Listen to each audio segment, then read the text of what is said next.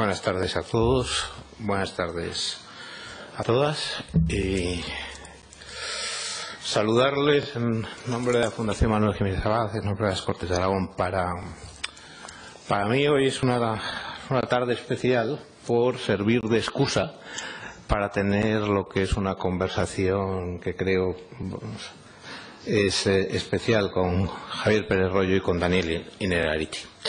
La excusa son varios libros. Es un libro que son los parlamentos autonómicos en tiempos de crisis, un libro que solo pretende poner encima de la mesa una institución, el Parlamento Autonómico, en un momento eh, especial tanto para la democracia como para la autonomía en nuestro país. Simplemente con ese libro lo que se ha querido es dar una pista el Parlamento Autonómico es una institución especial en un momento como el presente español. Junto a ello, dos libros que tienen mucha más, mucha mayor ambición.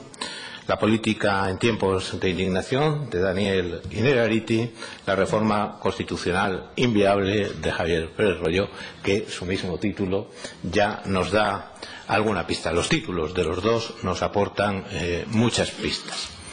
La Fundación Manuel Jiménez Abad quiere ser, ante todo, la aportación de las Cortes de Aragón a la reflexión pública, política en la sociedad. No es un momento cualquiera, no es una legislatura cualquiera, ni de las Cortes de Aragón, ni eh, de las Cortes Generales.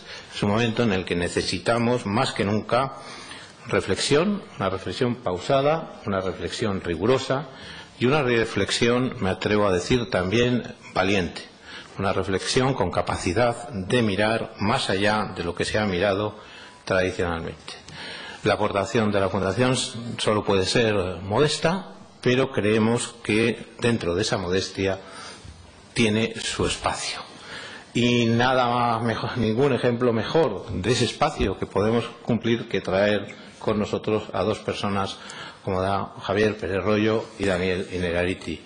Creo sinceramente que es un lujo que estén hoy en Zaragoza, que estén aquí para conversar con nosotros, para reflexionar sobre la política en tiempos de indignación, sobre el futuro de esa política, posibles o no posibles reformas constitucionales o sobre parlamentos, participación y representación. Sobre todo ello, les llamamos a dialogar a ellos, pero también, ante todo, le llamamos a ustedes a participar y a conversar con ellos, porque si es un lujo que estén aquí, es porque todos tenemos la oportunidad de abrir y entablar diálogo con ellos.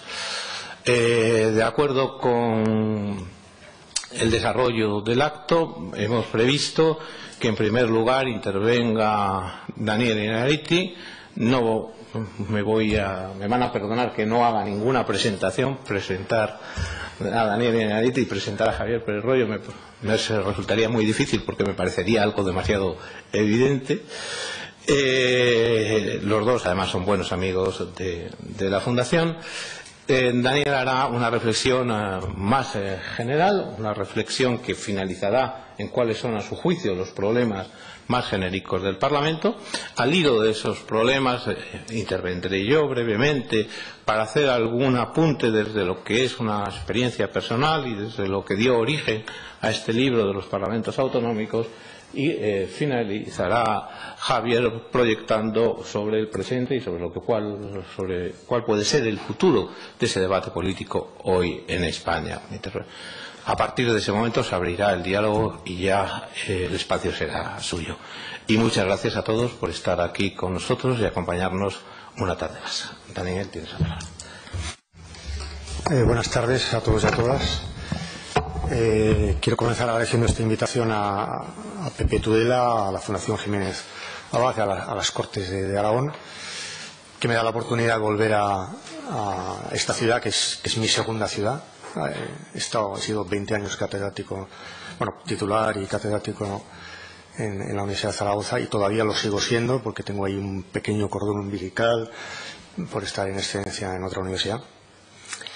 Y bien, yo quería eh, explicar mm, cuáles, son, cuáles son, a mi juicio, las dificultades eh, o cuáles son las razones que explican las, las enormes dificultades que tienen los parlamentos al nivel que sea, para cumplir las, las funciones que se les asignaron en las revoluciones que dieron lugar a las democracias representativas.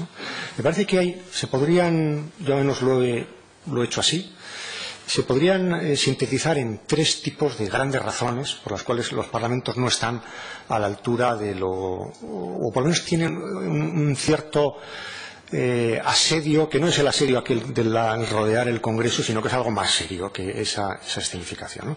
Creo que hay unas razones de tipo cultural que tienen que ver con, con, este mundo de inmediación que estamos construyendo gracias a las nuevas tecnologías. Luego me refería a un segundo tipo de razones que son de razones de tipo estructural, que tiene que ver con los tiempos de la política y los tiempos de la sociedad, un desajuste radical que hay en esto. Y, en tercer lugar, un, tipo de razones que podríamos llamar funcionales, que tendrían que ver con la relación que se ha establecido en las democracias actuales entre el poder ejecutivo y el poder legislativo, que de alguna manera pervierte eh, lo que era un, entendido en nuestro sistema representativo. Eh, gracias a las nuevas tecnologías, a la movilidad fácil, a la información eh, accesible y, y barata, a, a esa posibilidad, por ejemplo, de conocer lo que la gente realmente quiere, que nos sugiere toda la tecnología de los, de los grandes datos, de los bancos de datos. Eh, y, por tanto, mm, gracias a todo este conjunto de fenómenos, lo que el, mundo en el que estamos me parece que se podría resumir diciendo que hay una gran seducción de la idea de que las eh, mediaciones no son necesarias. El mundo se nos da inmediatamente, no hace falta teorías, no hace falta construcciones de ningún tipo, eh, casi no hace falta ni los profesores, porque ya está Google, ¿para qué queremos? No? Y de hecho, todas las, todas las instituciones que, eh, que se presentan a sí mismas como instituciones que ejercen algún tipo de mediación, tienen grandes dificultades para justificar su existencia. Eh, lo acabo de decir, los profesores en la época de Google tenemos que pensar qué, hacemos, porque ya no podemos dar las clases como las daba antes y nos han recordado con el proceso de Bolonia. Eh, probablemente los sacerdotes ya no puedan establecer esa mediación entre Dios y nosotros en el momento en que eso, la vieja religiosidad se ha transformado radicalmente. Eh, probablemente los periodistas tampoco dictaminan lo que es noticia, sino que más bien lo recogen de las redes sociales y, por tanto, el, periodista como, como, un gatekeeper, como alguien que controla el acceso a lo que es información y lo que no es información, también ha desaparecido y también se tiene que reinventar. Y la profesión, la mediación por excelencia es la de político. Y, lógicamente, no es nada extraño que en las encuestas se diga que nuestro principal problema son los políticos. Esto no, significa que lo sea realmente, pero sí que la gente lo perciba como tal. Es decir, hay una percepción bastante extendida de que no necesitamos instituciones de la mediación, porque la mediación la podemos realmente, gracias a estos avances tecnológicos, la podemos suprimir por una mera agregación.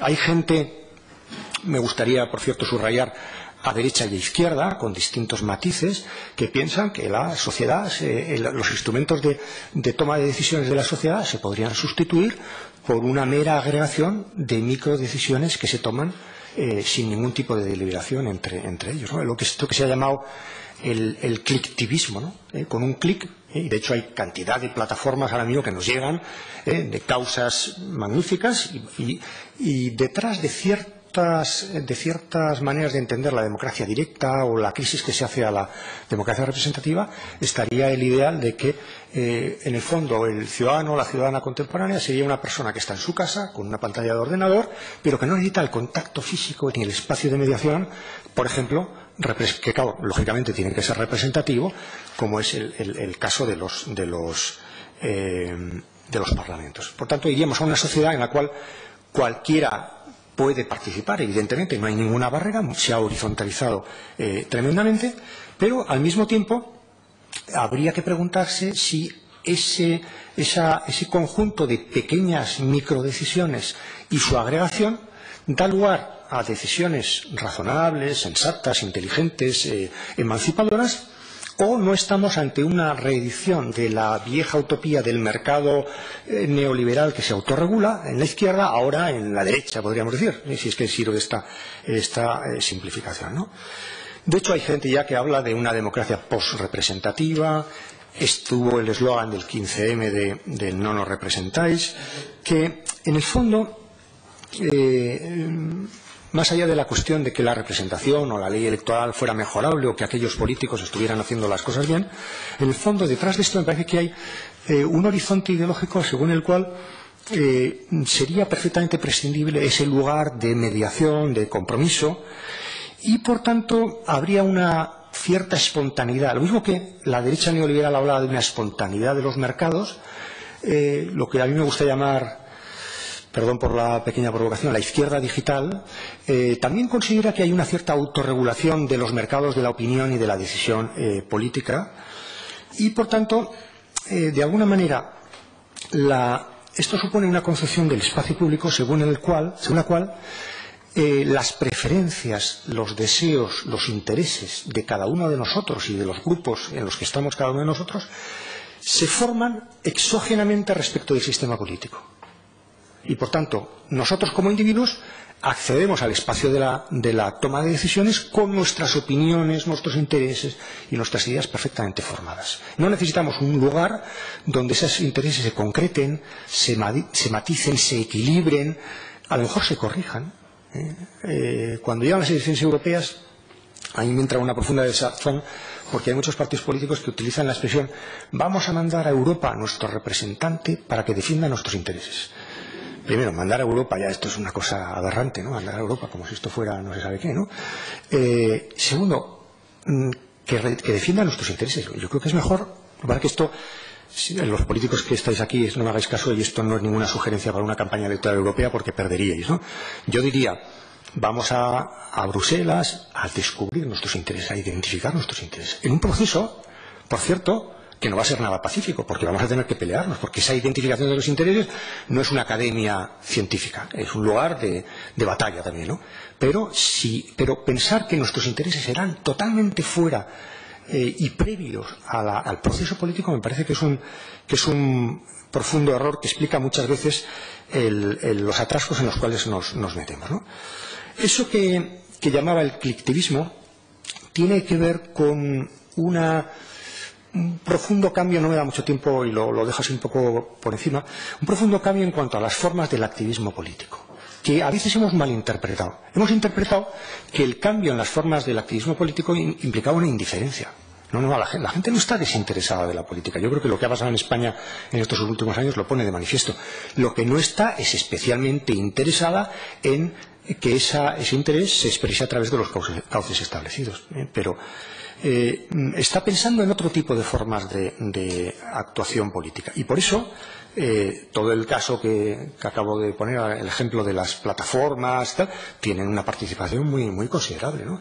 Y la gente se moviliza fundamentalmente contra cosas. Eh, hay movimientos desde Burgos, aquel barrio, eh, en fin, el aeropuerto de París, el, plan, el plan 21 de Stuttgart, hay cantidad de ejemplos de cómo la gente es capaz de parar cosas. Las mareas, eh, la bata blanca, todas estas cosas. Es decir, bueno, la ciudadanía, tenemos una cierta capacidad de, de... Es más, incluso tenemos una cierta capacidad de elegir representantes. El 20 de elegimos un parlamento y un senado. Otra cosa es que solo hayamos hecho eso. Es decir, que eh, cuando uh, las elecciones sirven para dos cosas, para, mandar unos representantes y para poner en marcha un proceso que tiene que acabar en la constitución de un gobierno. Esta segunda parte parece que nos la van a sustraer. ¿eh? Pero bueno. Eh, bien, lo que yo planteo en este punto es, ¿realmente el ideal de espacio público que tenemos se satisface con esta mera agregación de microdecisiones tomadas en un espacio privado? Del mismo modo, perdonar que insista en la analogía, que a lo mejor hay que preguntarse si realmente un mercado razonable, equilibrado, justo, ecológico, eh, es el mero, la mera agregación de microdecisiones de consumidores y de inversores. Segunda eh, razón, en esta ya sería un poco más breve, una razón de tipo estructural. Es decir, la, política, en el fondo, es un gran invento de humanidad para equilibrar tiempos distintos. Y fundamentalmente, tal y como se entendió en la modernidad, es decir, cuando surgen las democracias eh, que ahora tenemos, la, política es un instrumento para conseguir equilibrar las distintas temporalidades que hay en una sociedad. El tiempo rápido de la ciencia, de la cultura, de la, tecnología, de la economía, con el tiempo de la deliberación eh, política. Bien, ¿qué pasa? Que el proyecto político en el que se, sobre el que se edificaba la modernidad tenía unos presupuestos de tipo temporal de los que carece el mundo contemporáneo.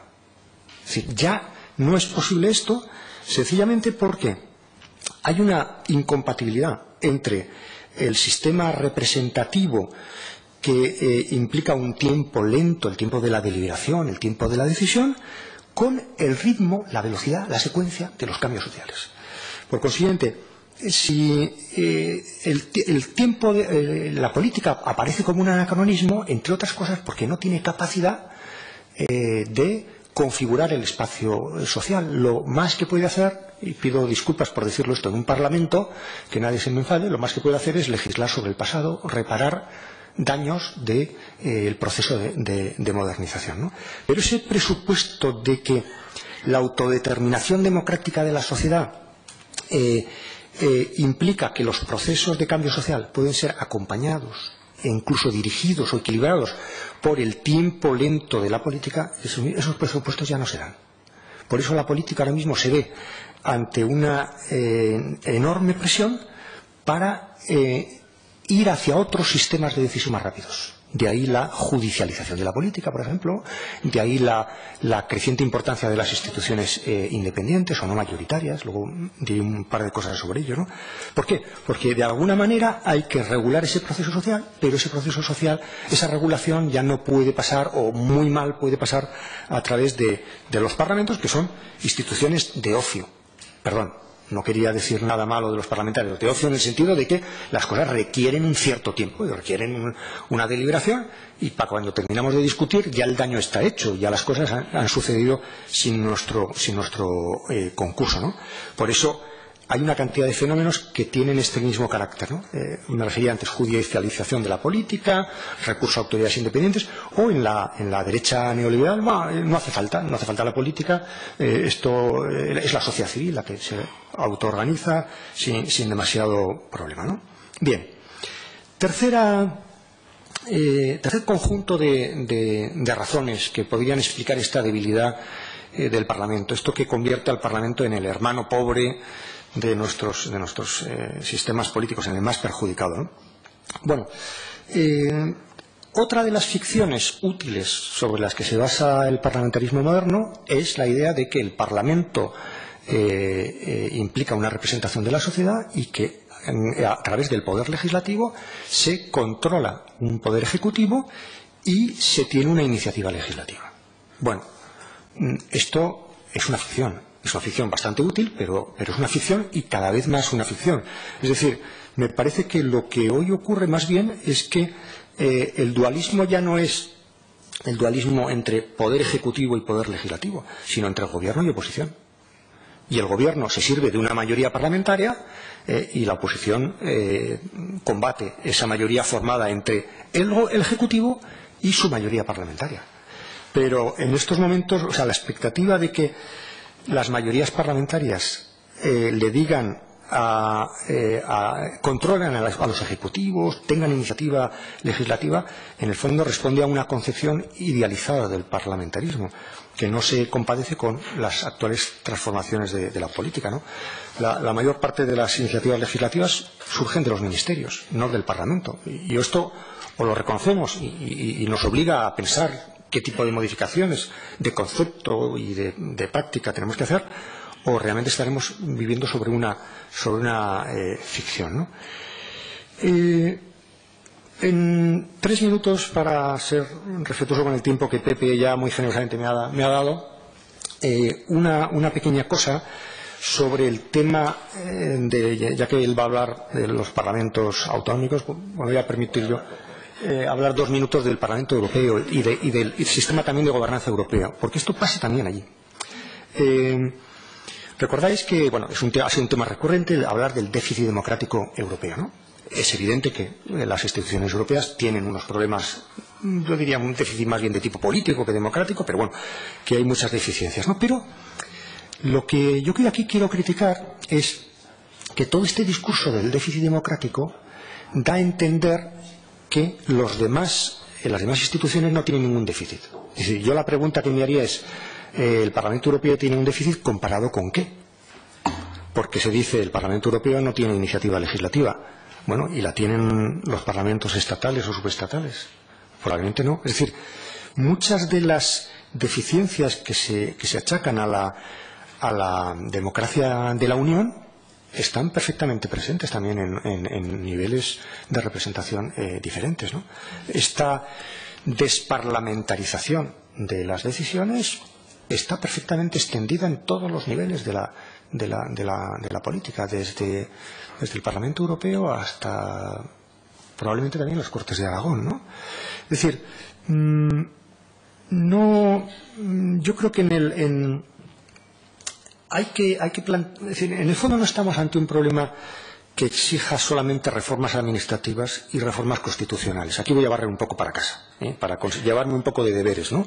Eh, yo creo que estamos necesitados de una reflexión acerca de la política en general, que no es incompatible con reformas constitucionales y reformas administrativas. Pero tendríamos que prestar un poco más de atención no mucho, ¿eh? lo nuestro no es tan importante, pero tiene una pequeña importancia para que todo lo demás tenga una cierta eh, coherencia. ¿no? O pensamos la, política y las funciones de la política en el, siglo XXI, este, en este nuevo contexto, con, valentía, con imaginación, o nos quedaremos en, reformas administrativas y, constitucionales que no tienen detrás una, concepción de fondo. Un último ejemplo que quería poner es Perdón, antes de esto. Eh, mi sugerencia es, bueno, es que a lo mejor resulta que el control del gobierno, tengo aquí dos compañeros de mesa que saben mucho más de esto que yo y por eso me, tiro al escenario sin red, ¿no? Eh, a lo mejor es que eh, la función de control del gobierno no es ni la única ni la función más importante de los parlamentos. Hay otra función, por ejemplo, la función representativa, la función de deliberación, la función de dar cauce a opiniones, etcétera, o la función informativa, que son funciones muy, muy importantes también, y, dependiendo de en qué plano del gobierno nos encontremos, europeo, estatal o subestatal, tendrán una mayor importancia o una menor importancia. La, última cosa que quería decir es sobre eh, cómo podemos pensar, solamente lo apunto porque no me da tiempo, el fenómeno en virtud del cual cada vez estamos delegando más competencias, sobre todo a nivel europeo, en instituciones de tipo deliberativo, pero que no son instituciones propiamente representativas, instituciones no mayoritarias, es decir, instituciones que no representan a una a una a un, electorado, como puede ser la Corte de Justicia, como puede ser el Banco Central Europeo, como puede ser todo el lobismo que hay eh, en Europa o como puede ser la, propia, Comisión. Bueno, hay que pensar que esa delegación de autoridad en esas instituciones que no son directamente representativas, que no rinden cuentas a un electorado, tiene una legitimación de tipo, funcional que no deberíamos despreciar. Por ejemplo, de mm, protección de largo plazo, de políticas de largo plazo. Eh, esto se veía muy bien cuando, cuando Varoufakis da, hace su primer viaje, nada más ser nombrado ministro de Hacienda, y da aquella rueda de prensa con Schäuble, su colega alemán, eh, dice, eh, yo tengo ciertos compromisos con mi propio electorado que me impiden hacer ciertas cosas. y Schäuble después dijo, yo también, qué casualidad, yo también tengo lo mismo. ¿no? Ah, yo creo que ahí se visualizó muy bien como para ciertas cosas las instituciones representativas eh, eh, estatales de los electorados de cada cuatro años son instrumentos insuficientes a la hora de avanzar en la integración, a la hora de la protección de los derechos, por ejemplo, eh, y a la hora también de hacer circular todo el saber experto que es necesario para que estas instituciones funcionen, funcionen bien. Creo, y lo resumo de esta manera, creo que son instituciones políticas, lo cual no significa que sean instituciones democrático-representativas en el sentido en el que lo son los gobiernos, ¿eh? pero son instituciones políticas que todavía pueden ser politizadas y que probablemente eh, tengan que ejercer una función importante en nuestro sistema de decisiones, pero que pueden ser manifiestamente mejoradas. Por ejemplo, pueden ser más representativas. Es muy eh, significativo que la primera mujer que entró en el Consejo del Banco Central Europeo fue hace dos años. En un momento en el que hubo una baja y algún país al que le tocaba quiso meter a un hombre. Y hubo una presión tremenda de, un grupo de parlamentarios y parlamentarias. Bueno, pueden ser más representativas, pueden ser más públicas, pueden abandonar esa idea de que ellos gestionan la objetividad y los demás la libre opinión. Pueden matizar sus prácticas, pero probablemente son instituciones que tienen una gran importancia en, el proceso de, toma de decisiones y que precisamente corrigen algunas de estas ciertas disfuncionalidades a las que me he referido antes. Muchas gracias.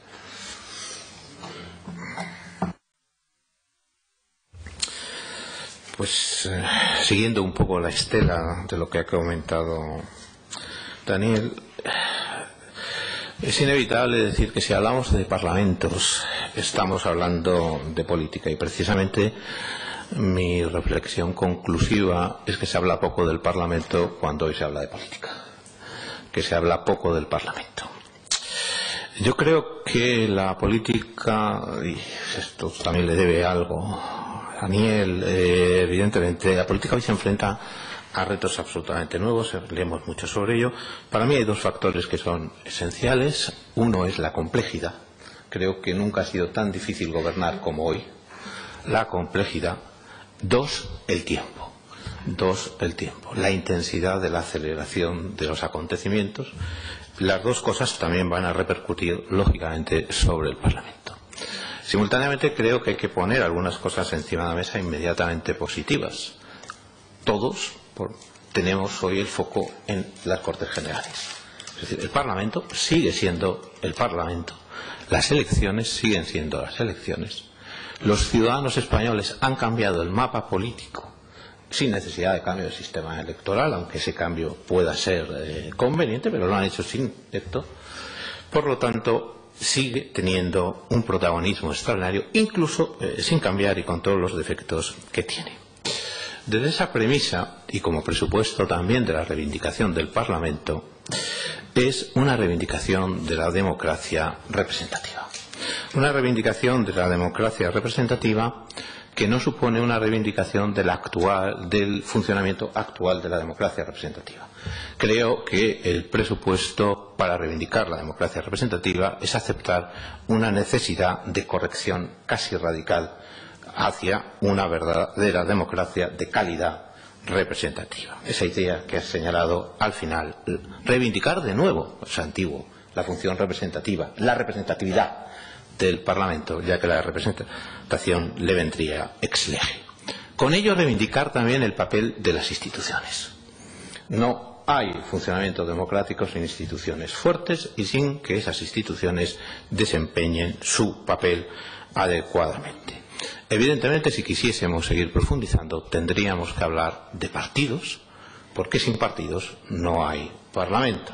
Al final, el Parlamento será en buena medida lo que los partidos puedan ser. ¿Por qué eh, reivindico la primacía y cada vez con mayor convencimiento de esa democracia representativa? Yo creo que hay dos valores que son esenciales para reivindicarla. El primero de ellos es la igualdad. Me parece que en eso está en vuestros dos libros.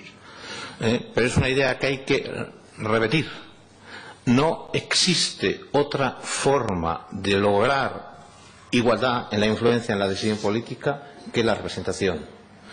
Todas las demás formas de participación pueden ser muy enriquecedoras, pueden ser muy positivas, pero no son igualitarias la única fórmula que garantiza con todos los problemas o que se acerca a la igualdad es la representación política. Más es la única que nos asegura un escenario de pluralismo. Es la única que nos asegura que de verdad todos los actores están presentes. Cualquier otra forma de participación, y podemos pensar, podemos dialogar sobre ello, a lo mejor es eh, equivocado, pero a mí no se me ocurre otra fórmula que aseguren de mejor manera el pluralismo o la igualdad. Es en ese escenario en el que creo que cualquier modelo democrático que podamos imaginar va a necesitar una institución similar al Parlamento, que cumpla las funciones de siempre del Parlamento, aunque las cumpla de manera completamente diferente, poco sería Lampedusa, tendríamos a lo mejor que cambiar todo el funcionamiento del Parlamento para que siguiese cumpliendo las funciones que ha cumplido siempre. En parte creo que el problema está en que nada ha cambiado en el Parlamento cuando todo ha cambiado fuera del Parlamento. La política es una de las esferas sociales que más resiste a un cambio que por lo demás está ya presente en todas las esferas. Podría hacer aquí un apunte, lo voy a hacer, sobre el Parlamento Autonómico para luego referirme, voy a ser breve, a alguna reflexión general sobre el Parlamento. Eh, sobre el Parlamento Autonómico, la reflexión es eh, pesimista en el sentido de que es una institución que sorprendentemente en 1978, Javier, nació con mucha fuerza. En unas comunidades que no estaban eh, habituadas al Parlamento, salvo en Cataluña no había habido Parlamento, el Parlamento nació con fuerza, nació con una extraordinaria fuerza, porque reunía, y esto creo es lo importante, dos ideas extraordinariamente potentes, la autonomía y la democracia. El Parlamento autonómico era la síntesis de esos dos valores, de la autonomía y de la democracia. Simbolizaba esa puesta en marcha de un Estado descentralizado y democrático. Esa fuerza sostuvo a los parlamentos autonómicos un tiempo. Yo creo que se perfeccionaron, pero con el tiempo, poco a poco, creo, y con otros añadidos, evidentemente, ha decaído. Hoy Hoy creo que habría que reflexionar sobre ellos en el contexto de la crisis del sistema político general, pero también, y esto a veces escapa, de la crisis del sistema territorial, del modelo territorial. Hay que pensar el Parlamento autonómico desde cuál puede ser su función en la refundación, creo que es absolutamente preciso, un nuevo modelo territorial en esa operación. Es decir, por ejemplo, si hablamos de una reforma constitucional, qué papel le corresponde a las comunidades autónomas y, por supuesto, dentro de eso, a los parlamentos como expresión de ese pluralismo en el interior de cada comunidad autónoma. Los parlamentos autonómicos tienen que aceptar que no han, también las Cortes Generales, por supuesto, pero los parlamentos autonómicos, por ejemplo, una insuficiencia que es clara es como la crisis eh, transcurrió sin que supiesen detectar muchas de las cosas que estaban pasando a su alrededor.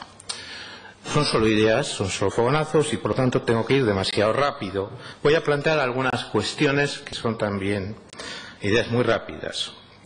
Un elemento esencial para el Parlamento Autonómico y para cualquier institución parlamentaria y que creo debatimos poco. ¿Quién es el diputado? ¿Cuál es el papel del diputado? cuáles son las funciones del diputado. No es un terreno explorado esencialmente ni por el derecho constitucional español, ni me parece que por la ciencia política. al final, cualquier estudio que hagamos sobre el Parlamento acaba de la misma manera. El Parlamento son los diputados. Podremos tener el mejor Parlamento, el mejor dotado del mundo, con los mejores medios, pero al final van a ser los diputados. Alrededor de ellos hay muchísimas cosas que plantearse, que estudiar tanto desde el derecho como desde la ciencia eh, política o desde la política, sin más. Parlamento y ley. Yo creo que esto eh, nos lleva a cuestiones mucho más trascendentales que el procedimiento legislativo, que la técnica legislativa, etcétera, etcétera, etcétera. la ley eh, se enfrenta hoy a desafíos extraordinarios. Y cuando digo la ley, es el derecho lo que se está enfrentando a desafíos extraordinarios. Desafíos que tienen mucho que ver con el tiempo, con la intensidad con la que transcurre todo. Desde el mismo momento en que hoy en un ministerio alguien piensa o en un grupo parlamentario alguien piensa que hay que elaborar un proyecto de ley, hasta que esa ley se aprueba, sucede un tiempo que provoca que la ley nazca ya vieja. Este es un problema que tiene el derecho, el derecho público sobre todo, más que el privado. El derecho público tiene un problema de primera envergadura. Debemos reflexionar sobre el concepto, sobre la forma y sobre el significado de la ley en la sociedad contemporánea. No puede ser el que ha sido hasta ahora. Decías, a lo mejor el, control no es la primera de las funciones del Parlamento contemporáneo. Yo creo que sigue siendo la primera de las funciones. Lo que sucede es que para que pueda controlar tiene que representar, tiene que cumplir una función informativa, tiene que eh, cumplir la función deliberativa. El control está asociado a una idea esencial, la eficacia de la institución parlamentaria los ciudadanos tienen que creer también en la institución parlamentaria. Para que crean en la institución parlamentaria tienen que ver eficaz. Seguramente la función que hoy puede cumplir en ese entramado político e institucional con mayor protagonismo es un control eficaz, control con responsabilidad, control con sanción. Para eso, evidentemente, hay que cambiar el rol de las minorías y las mayorías en sede parlamentaria. Si seguimos el mismo juego en donde todo el protagonismo lo tiene la mayoría, vamos evidentemente a lo mismo y seguiremos con los mismos problemas. Evidentemente, el Parlamento se enfrenta a esa idea de complejidad. Si estamos diciendo que el Gobierno, la función ejecutiva, tiene hoy un problema extraordinario a la hora de gobernar, imaginemos cuáles son los problemas del Parlamento. De unas instituciones muy débiles, y esto también hay que decirlo en voz alta, y me gusta decirlo, perdón, en esta sala, los parlamentos son muy débiles. Los parlamentos son muy débiles porque además cada vez los queremos hacer más débiles. Cada vez les restamos más medios, les pedimos más cosas, les pedimos mayor eficacia, les pedimos mayor capacidad, mayor representatividad, pero les restamos medios. Es imposible. Si queremos instituciones fuertes, necesitarán medios. Necesitan medios. Y hay que decirlo en voz el Parlamento es una institución esencial. Sin Parlamento no hay democracia. Por lo tanto, por favor, hagamos fuertes a los parlamentos y sepamos, eso sí, expliquémoslo, sepamos explicarlo a la sociedad, que es al final de lo que se trata. Un elemento adicional que creo que, y lo conectaré con lo que me parece puede ser una de las funciones esenciales, algo has dicho, Daniel, la retórica, el papel de la deliberación en el Parlamento. Seguramente Hoy una de las funciones claves, de los haceres claves del Parlamento es la deliberativa, es la deliberación. Es que los ciudadanos vean que en sede parlamentaria se delibera sobre lo que a ellos interesa y desde todos los puntos de vista. Incluso, en mi opinión, más que, por ejemplo, técnicos, instrumentos como la iniciativa legislativa popular, sería interesante pensar el derecho al debate ciudadano, a que los ciudadanos pudiesen plantear un debate, incluso intervenir en sede parlamentaria y provocar ese debate. Creo que es mucho más coherente con la forma parlamentaria, por ejemplo, que la iniciativa legislativa. Pero alrededor de la deliberación en el Parlamento hay muchísimo terreno que solo es reglamento, en este caso, ni siquiera constitución o estatuto. Estoy hablando de invertir los turnos, de que en ocasiones no cierre el gobierno, de que cierre la oposición, de limitar el tiempo de intervención a cinco minutos, de eliminar el papel. Hay cuestiones muy pequeñas, pero que vigorizarían y harían más atractivo a los ciudadanos lo que sucede en el Parlamento.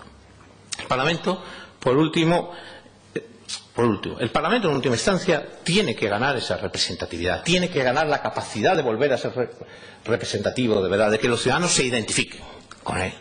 Eso, evidentemente, implica una relación de confianza que hoy se ha perdido o se ha perdido a medias y es el ejercicio que hay que recuperar. Por supuesto, eso implica un quehacer determinado, implica una publicidad, implica una transparencia, aunque eh, también coincidiendo con, con, Daniel en su libro, hay que reivindicar que hay espacios que no pueden ser públicos en la política. Y eso no es incompatible con reivindicar la transparencia y reivindicar la publicidad. Pero hay espacios de diálogo en la política que necesariamente tienen que ser reservados, como puede ser, por ejemplo, una junta de portavoces o una ponencia parlamentaria, porque necesitan un diálogo en unas características determinadas.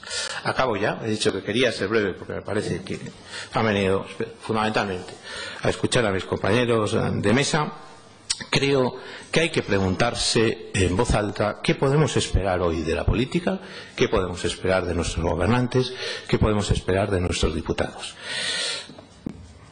Y seguramente la conclusión tiene que ser más modesta de lo que a veces queremos, porque no todo lo pueden hoy los gobernantes, no todo, mucho menos, lo pueden los diputados. ¿Cuál es el espacio, al final, que debemos atribuir al Gobierno, cuál es el espacio que debemos atribuir al Parlamento. Pero estas reflexiones las tiene que hacer también la clase política, las tienen que hacer los políticos, las tienen que, tienen que invitar a la ciudadanía a pensar con ellos cuál debe ser ese papel. Y en ese debate, en ese debate, al Parlamento, en ese debate y en esa reflexión, al Parlamento le corresponde, me parece, un papel protagonista. Un papel que muchas veces es ignorado. A mí me sigue. Hay una reflexión que es un poco sorprendente. No es que no se trabaje sobre el Parlamento, no es que no se reflexione, pero se hace más desde la teoría, desde el derecho de representación, desde el procedimiento parlamentario, la técnica legislativa, la posición institucional del Parlamento en el debate, se trabaja y se estudia. Menos, por lo menos eh, en España hay más trabajos, me parece, en estos momentos en otros países, pero eh, si eh, comparamos el periodo, en el periodo de entreguerras, cuando se quiso atacar la democracia, se atacó el Parlamento, porque el Parlamento era la democracia. Cuando Smith pone el ojo sobre la democracia lo pone sobre el Parlamento. Bueno, pues a mí me preocuparía que hoy se ignorase el Parlamento y creo que reivindicar la democracia, reivindicar una buena salud democrática pasa porque fijemos la atención en el Parlamento. Y en ese debate el Parlamento Autonómico puede tener un protagonismo realmente relevante que hoy se incrementa precisamente por todo el debate territorial. Solamente apuntar una cosa más y más en tiempos de reforma y de, estoy seguro, una reforma constitucional en un tiempo o en otro. Espero que viable. espero, que, espero que viable. En un tiempo o en otro. La forma de gobierno. El Parlamento se inserta en la forma de gobierno. Uno de los grandes problemas de la democracia española, no sé si Javier lo compartirá conmigo, es la deriva eh, presidencialista de nuestra forma de gobierno. El presidencialismo eh, casi radical de una forma de gobierno parlamentaria con eh, cuestiones al final esquizofrénicas, porque reivindicamos la forma parlamentaria, por ejemplo, con razón, para la posible elección del presidente de gobierno, y luego, en cambio, eh, desarrollamos una dinámica absolutamente presidencialista o las elecciones mismas se desarrollan en clave absolutamente presidencialista. Estamos jugando un juego esquizofrénico y esos juegos suelen tener malas consecuencias. Es preciso pensar la forma de gobierno y pensar en consecuencia cuáles son cuáles deben ser los pesos y contrapesos en la relación entre gobierno y parlamento. La situación actual creo que no beneficia ni al parlamento como institución ni a la democracia en general y no me parece exagerado apuntar que en las comunidades autónomas la presidencialización es todavía un grado más intensa. Es verdad que con los nuevos mapas políticos derivados de las últimas elecciones, lógicamente eso puede cambiar al no existir mayorías tan claras y podemos encontrarnos ante situaciones nuevas. Pero en cualquier caso no tenemos bien organizada la forma de gobierno. La democracia es un reto permanente. No podemos pensar en modelos ideales. Este es otro elemento que creo que tenemos que desterrar. Pero sí que se puede pensar en correcciones permanentes de ese modelo democrático y, desde luego, en correcciones permanentes del Parlamento. El Parlamento debe saber que ya nada está establecido para siempre y que continuamente debe repensarse para que los ciudadanos progresivamente se sigan identificando con esta institución que seguirá siendo el eje del modelo democrático mientras no inventemos otro mejor y eso no parece muy cercano. Bueno, pues ante todo muchas gracias Pepe por la invitación. Y a continuación yo, yo voy a seguir hablando de lo que han hablado ellos, porque si yo empiezo a hablar ahora de la reforma de la Constitución, entonces no va a haber forma de hacer ningún diálogo significativo, porque yo intervendría en una clave completamente distinta y estaría lanzando un mensaje que no tendría nada que ver con el que han estado transmitiendo ellos y en consecuencia sería imposible que hubiera ningún diálogo a continuación. De manera que yo no voy a hablar de, lo que he escrito sobre la reforma de la Constitución, sino que voy a seguir hablando del tema que venía aquí, que era democracia, parlamento y participación en una sociedad globalizada, que es el tema más o menos sobre el que vosotros habéis hecho vuestras exposiciones, y yo voy a anudar unas reflexiones que he ido que he ido construyendo a medida que he ido yendo a vosotros, ¿no? Entonces, ¿cuál es la posición que yo tendría con respecto al tema y con respecto a lo que vosotros habéis dicho hasta ahora? Pues la mía sería lo siguiente. La política, en mi opinión, es un instrumento para controlar la ley del más fuerte. Este es el sentido de la política, que ha tenido la política desde siempre desde que empieza a haber una cierta complejidad en la convivencia humana y hace falta política para gestionar las diferencias que existen entre los seres humanos. Entonces, la política ha sido siempre un instrumento para controlar la ley del más fuerte y, a través del control de la ley del más fuerte, hacer posible la convivencia y la supervivencia de una sociedad. Si la ley del más fuerte no se controla de alguna manera, la convivencia es insoportable. Esto ha sido así y todas las formas de organización de la política que ha habido desde siempre han sido formas para que se pudiera controlar la ley del más fuerte. La ley del más fuerte es insuprimible. La ley del más fuerte es insuprimible. No hay ninguna sociedad que pueda prescindir de la ley del más fuerte, ni previsiblemente la va a haber nunca. Una sociedad en la que desaparezca la ley del más fuerte sería una sociedad que entraría en un proceso de descomposición. La ley del más fuerte es Google, la ley del más fuerte es Amazon, la ley del más fuerte es Zara, la ley del más fuerte es Mercadona, la ley del más fuerte es formas de ejercicio de actividad que demuestran la superioridad con respecto a otras y que se imponen y que son más fuertes porque realmente son más eficaces. Por lo tanto, es un principio del que no se puede prescindir en la convivencia. Ahora, la civilización consiste en someter la ley del más fuerte al control de formalidades jurídicas, definidas por el conjunto de la sociedad. Y eso ha sido la civilización. La historia de la civilización no es nada más que la historia del control de la ley del más fuerte. Y la política es eso. Y el derecho es una derivación de la política, es la objetivación de la política, la creación de normas para controlar la ley del más fuerte. Usted es el más fuerte, pero el trabajo no puede ser esclavo. Usted es el, más fuerte, pero no puede despedir a una mujer porque se quede embarazada. Usted es el más fuerte, pero tiene que haber unas vacaciones que estén fijadas para los trabajadores. Y hay que respetarlo. Usted es el más fuerte, pero si hay una diferencia contractual, tiene que ser resuelta por los tribunales de justicia. Y así sucesivamente. En esas condiciones es en las que usted tiene que expresarse y ser el más fuerte.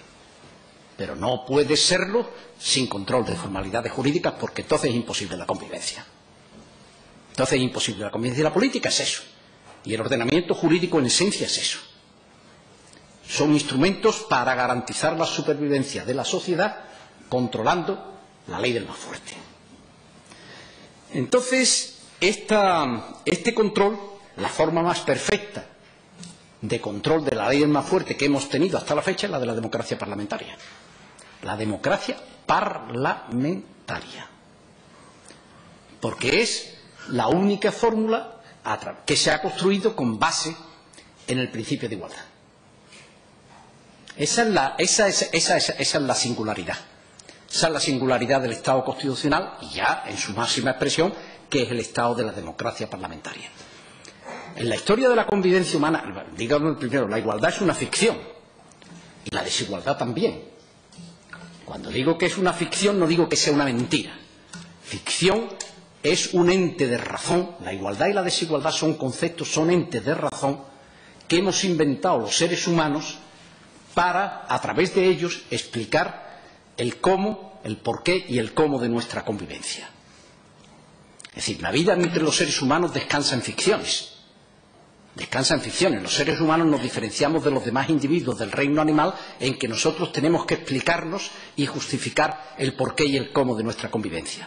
No somos capaces de convivir si no nos explicamos a nosotros mismos el porqué y el cómo de nuestra convivencia. Y la política y el derecho son las ficciones a través de las cuales nosotros explicamos y justificamos nuestro modelo de convivencia. Y a lo largo de la historia de la convivencia humana, las dos grandes ficciones han sido la desigualdad y la igualdad. Las dos son ficciones. Lo único que existe es la diferencia. Los seres humanos no somos ni iguales ni desiguales, somos diferentes. Y la desigualdad y la igualdad son conceptos a través de los cuales nosotros explicamos el porqué y el cómo de la convivencia. Básicamente, a lo largo de la historia de la humanidad se ha aplicado con base en la desigualdad la esclavitud por naturaleza de Aristóteles, en el primer libro de la política. Los hombres somos desiguales por naturaleza y, por lo tanto, unos nacen para mandar y otros para obedecer, y la esclavitud es conveniente y justa. Esa matriz aristotélica ha estado presente hasta que el capítulo 13 del Leviatán, que es la primera vez en que se rompe y se dice, no, no, no, no es la desigualdad, sino que la convivencia entre los seres humanos hay que explicarla con base en el principio de igualdad. Y ahí empieza la construcción del Estado constitucional y empieza la construcción de lo que sería después la democracia. Por lo tanto, la igualdad es una ficción Es una ficción, una ficción con base en la cual nosotros explicamos en el mundo contemporáneo el porqué y el cómo de la convivencia. Las relaciones entre los seres humanos tienen que ser explicadas con base en el principio de igualdad. Y ese principio de igualdad se expresa institucionalmente en el Parlamento. Y nada más que en el Parlamento. El Parlamento es la única institución expresiva del principio de igualdad. Los seres humanos somos iguales porque participamos en condiciones de igualdad en la formación de la voluntad general. Ese es el elemento constitutivo de la igualdad. La participación en condiciones de igualdad en la formación de la voluntad general a través del Parlamento, a través de la institución representativa. Por eso somos iguales los españoles en España, los franceses en Francia y los alemanes en Alemania. Y nada más. La igualdad es política. La igualdad no es humana. La igualdad es política. Somos iguales los españoles, dice el artículo 14. Los españoles son iguales. Y los franceses son iguales a los franceses. Y así, ¿por qué? Porque participamos en condiciones de igualdad en la formación de la voluntad general. Ese es el único momento de igualdad que hay en la vida del ser humano. En una sociedad democráticamente constituida, el momento en el que depositamos el voto en la urna. En ese momento, cada uno de nosotros pasa a ser una fracción anónima de un cuerpo electoral único a través del cual se constituye la voluntad general. Y la voluntad general se convierte en el contrapunto de todas las voluntades individuales y la convivencia es el ejercicio de la autonomía personal dentro del límite de la voluntad general que se ha fijado parlamentariamente a partir del ejercicio del derecho de sufragio en condiciones de igualdad. Ese es el modelo de convivencia nuestro del Estado constitucional democrático y eso es lo que convierte al Parlamento en el elemento que proporciona legitimidad al sistema. El Parlamento es la institución a través del cual la sociedad hace la síntesis política de sí misma para poder dirigirse y para poder tomar decisiones, porque la sociedad tiene un grado de complejidad tan extraordinario que no puede autodirigirse si no es haciendo esa síntesis política de sí misma, resumiéndose y siendo capaz de tomar decisiones. Y el sistema electoral y los partidos políticos son los instrumentos a través de los cuales la sociedad hace esa síntesis política de sí misma y se constituye el Parlamento, la institución parlamentaria a través de la cual se toma. Por tanto, el Parlamento es insustituible y es el elemento, el elemento que expresa la igualdad y es el único que proporciona legitimidad, legitimidad a la toma de decisiones. Y por lo tanto eso es insustituible y, va a seguir siendo insustituible. Otra cosa es con las condiciones en las que tiene que desarrollar su actividad sean distintas y que es más difícil en este momento hacer esa síntesis política que proporcione legitimidad y que proporcione eficacia en la toma de decisiones. Pero sigue siendo insustituible. No disponemos todavía de ninguno. Ninguna, ninguna alternativa distinta. Otra cosa es que, el Parlamento está sufriendo una devaluación. Y está sufriendo una devaluación en cierta medida por lo que estamos hablando en el tema de aquí, ¿eh? que es la sociedad globalizada y el ritmo al que se van sucediendo los acontecimientos. Ayer decía el presidente Obama en el último debate sobre el Estado de la Nación, el discurso del debate de la Nación, decía expresamente, ¿te acordado cuando estaba aquí? Vivimos en un tiempo de cambio extraordinario. Cambio que está redefiniendo la forma en que vivimos, la forma en que trabajamos, nuestro planeta y nuestro lugar en el mundo. Se trata de un cambio que puede ser una ventana de oportunidad o que puede ensanchar la desigualdad. Y nos guste o no, el ritmo de este cambio únicamente puede ir a más. Esto es lo que decía ayer estaba coincidiendo, creo que estamos todos en este de acuerdo. Complejidad y cambio de una velocidad extraordinaria y además en una dirección que actúa en contra de la institución parlamentaria. Porque la institución parlamentaria es la típica institución propia del Estado nacional. El Parlamento Europeo existe, pero el Parlamento Europeo no es el Parlamento nacional ni las funciones que desarrolla el Parlamento Europeo son las propias del Parlamento. Ni tiene una función legislativa, ni tiene una función ejecutiva, ni tiene una función de control. Las tres funciones parlamentarias que aparecen siempre, las potestades parlamentarias a las que se refiere el artículo 66.2 de la Constitución, pues están en el Parlamento de los Estados nacionales, pero no están en el Parlamento Europeo. Por lo tanto, lo que tenemos como parlamentos de verdad ahora mismo son los parlamentos nacionales. Y luego hay un Parlamento Europeo que no es que tenga un déficit democrático, es que no está constituido democráticamente. No está constituido democráticamente, porque no hay un cuerpo electoral único, sino que hay 27 cuerpos electorales distintos que después se agregan. Y porque, como consecuencia de ello, no hay un punto de referencia único al cual se refiere el Parlamento Europeo. Entonces estamos con dos mundos que son la, Unión Europea no es que tenga un déficit democrático, es que está constituida ademocráticamente. Es un club de países democráticamente constituidos, pero ella misma no está constituida democráticamente. Porque la democracia, en nuestra cultura jurídica y política, tiene como punto de partida al individuo y la, la Unión Europea tiene como punto de partida al Estado. Y no tiene como punto de partida al individuo. Los Estados son los señores del tratado, como dice el Tribunal Constitucional Federal Alemán. Los señores de los tratados europeos. No son los individuos.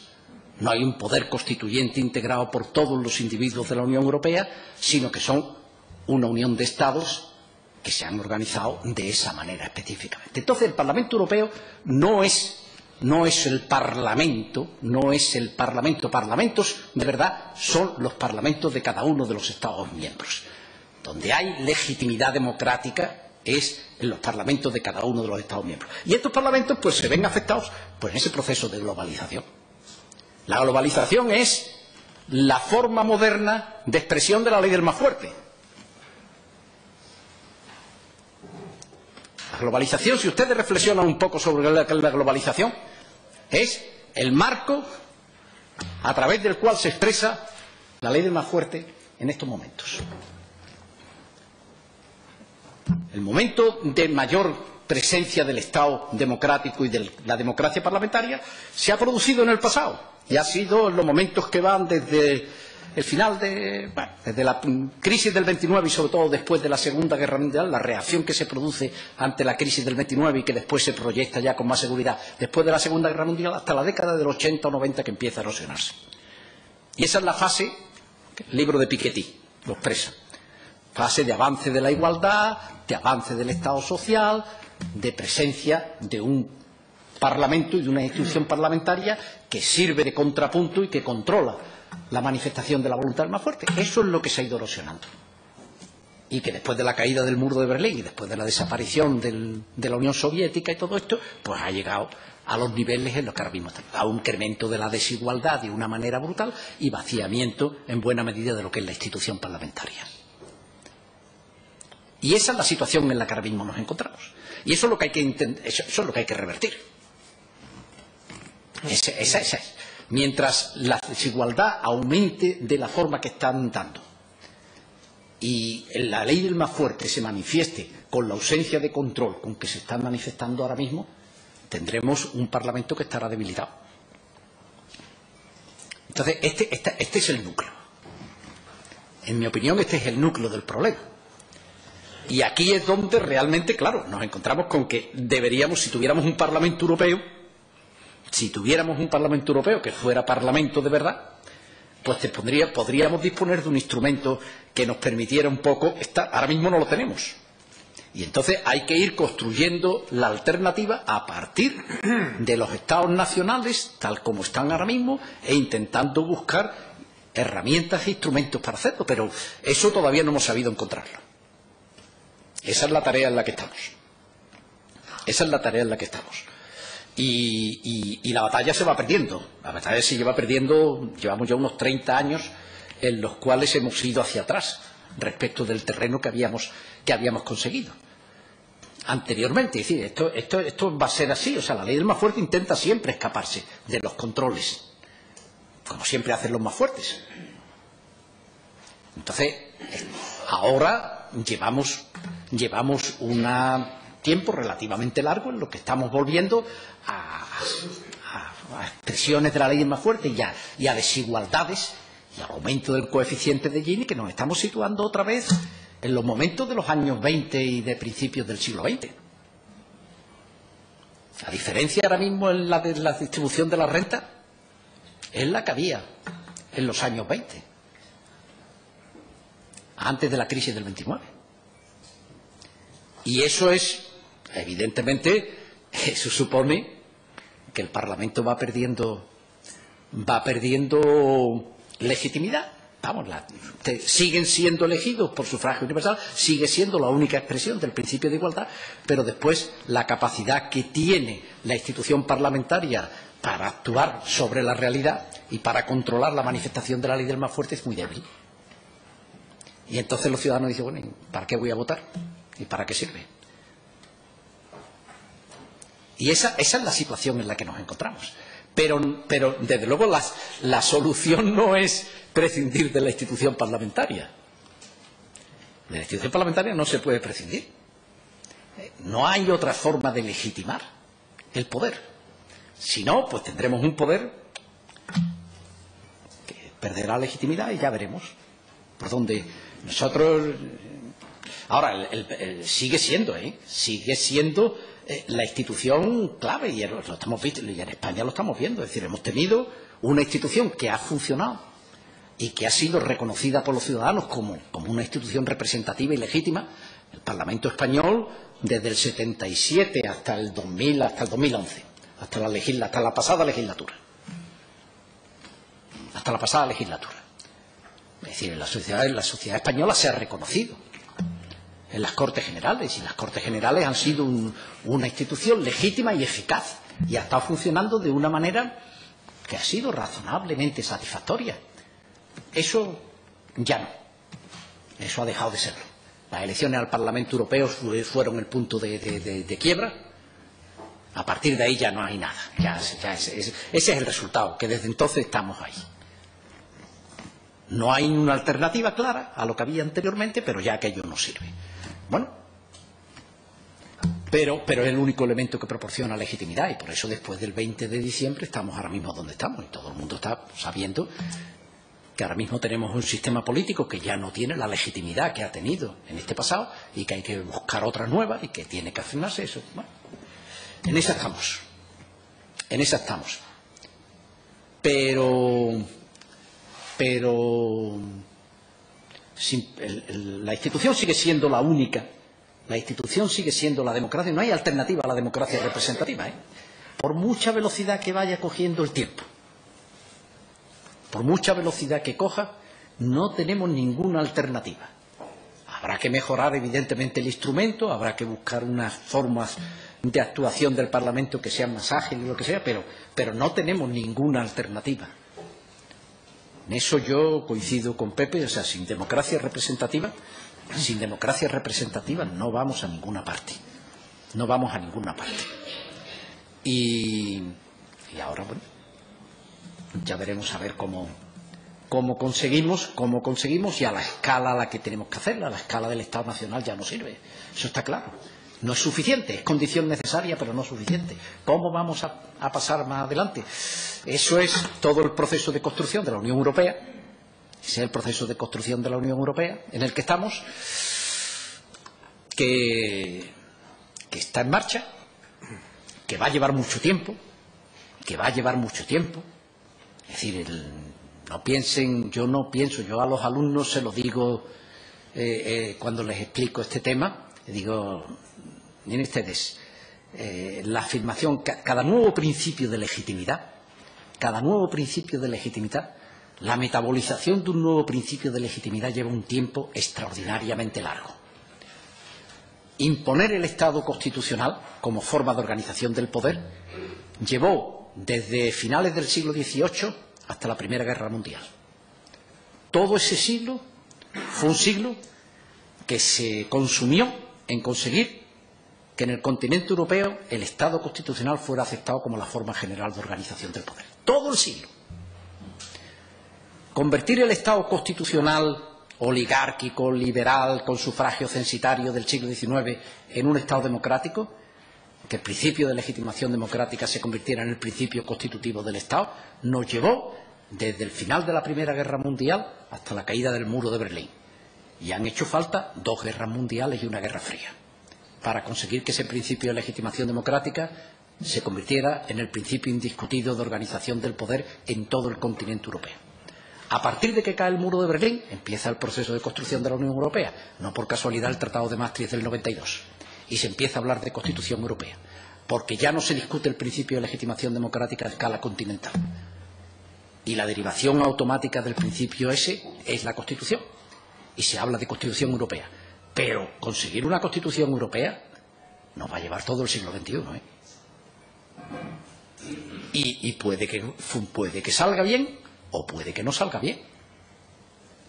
El principio de legitimación democrática se acabó imponiendo, pero antes de la batalla de Stalingrado, ¿quién decía que iba a ser el principio que iba a acabar convirtiéndose en el principio constitutivo de los Estados europeos? Y que no iba a ser el principio que suponía la Alemania nazi, el que iba a estar. Después, ¿eh? la batalla de Stalingrado ya quedó claro, y ahora parece como si eso fuera una cosa que es que tenía que ser así, porque nada más que tenía que ser así. Pues eso nos pasa, ahora nosotros estamos ¿Acabaremos teniendo una Constitución europea y realmente un Parlamento europeo que sea auténticamente un Parlamento y un elemento de legitimidad y que pueda enfrentarse con la ley del más fuerte de una manera razonablemente satisfactoria o no? Eso es lo que estamos haciendo. Esa es la tarea en la que estamos inmersos. Pero sin eso no hay solución, ¿eh?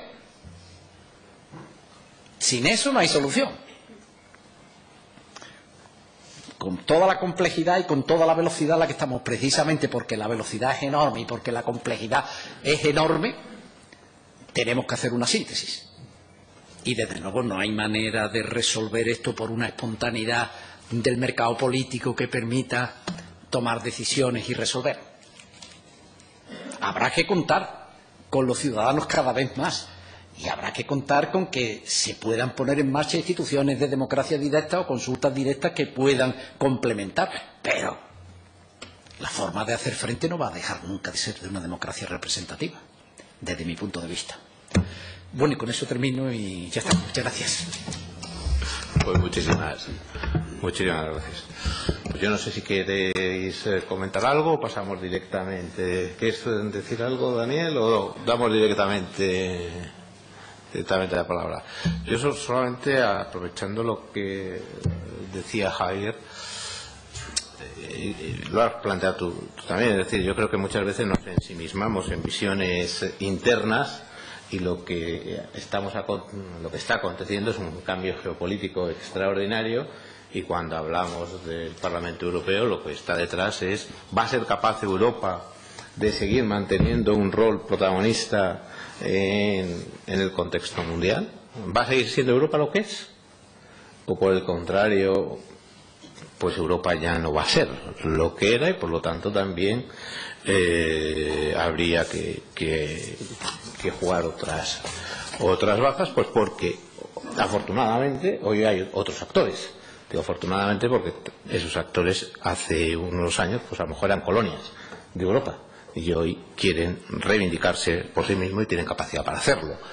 Entonces, eso es un contexto geopolítico absolutamente distinto y me da a mí la sensación de que los europeos no, lo estamos viendo. Los europeos no estamos viendo que eh, hay señores que ya no nos piden autorización para nada, que se reúnen, que firman sus tratados de libre comercio y que nos superan en muchas cosas. Nos superan en muchas cosas, a lo mejor no nos gustan, pero están allí y yo creo que ese es también se deducía de vuestras intervenciones y que es un factor más a tener en cuenta y que lógicamente influye en nuestra organización política.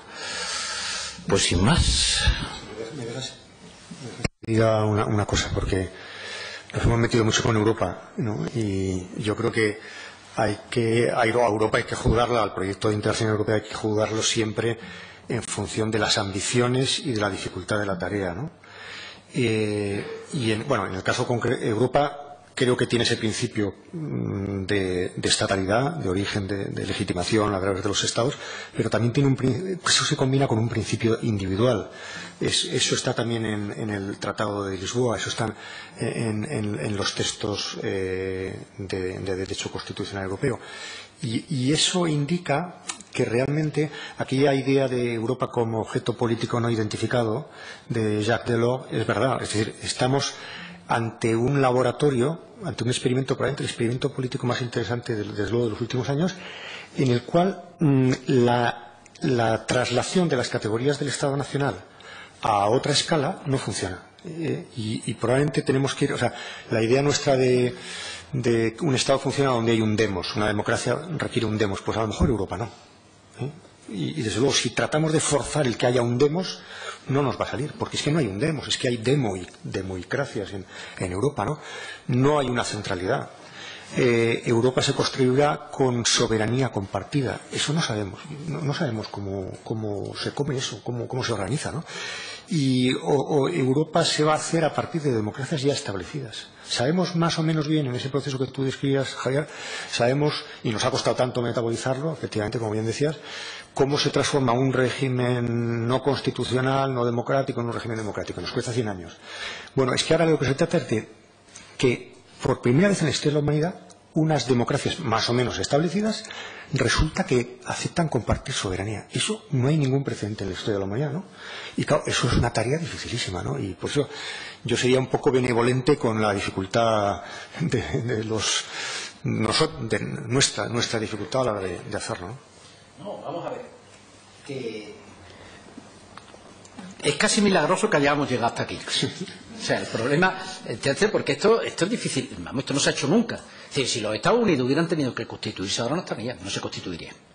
Los Estados Unidos se constituyeron porque eran 13 colonias, 6 millones de habitantes, que todos hablaban inglés, que había esclavos, que había una serie de cosas, que, en fin. Y, pero ahora mismo, si tuvieran que constituirse ahora mismo, posiblemente no se podrían constituir.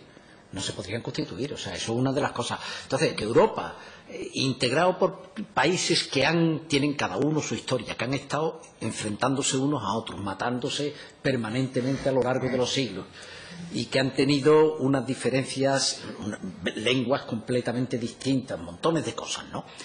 Y que le falta, por lo tanto, una, un punto de referencia común para poder decir el lugar de residenciación del poder lo tenemos claramente identificado, ¿no?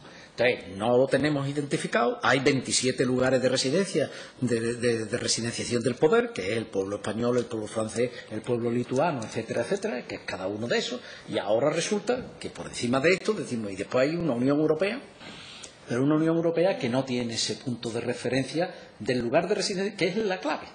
Porque cuando, cuando en un país, es decir, cuando en una, en una sociedad hay una identificación clara del lugar de residenciación del poder, el problema de la política está resuelto. la política democrática está resuelto. Esa es la cuestión más clara, más decisiva. ¿Dónde reside el poder?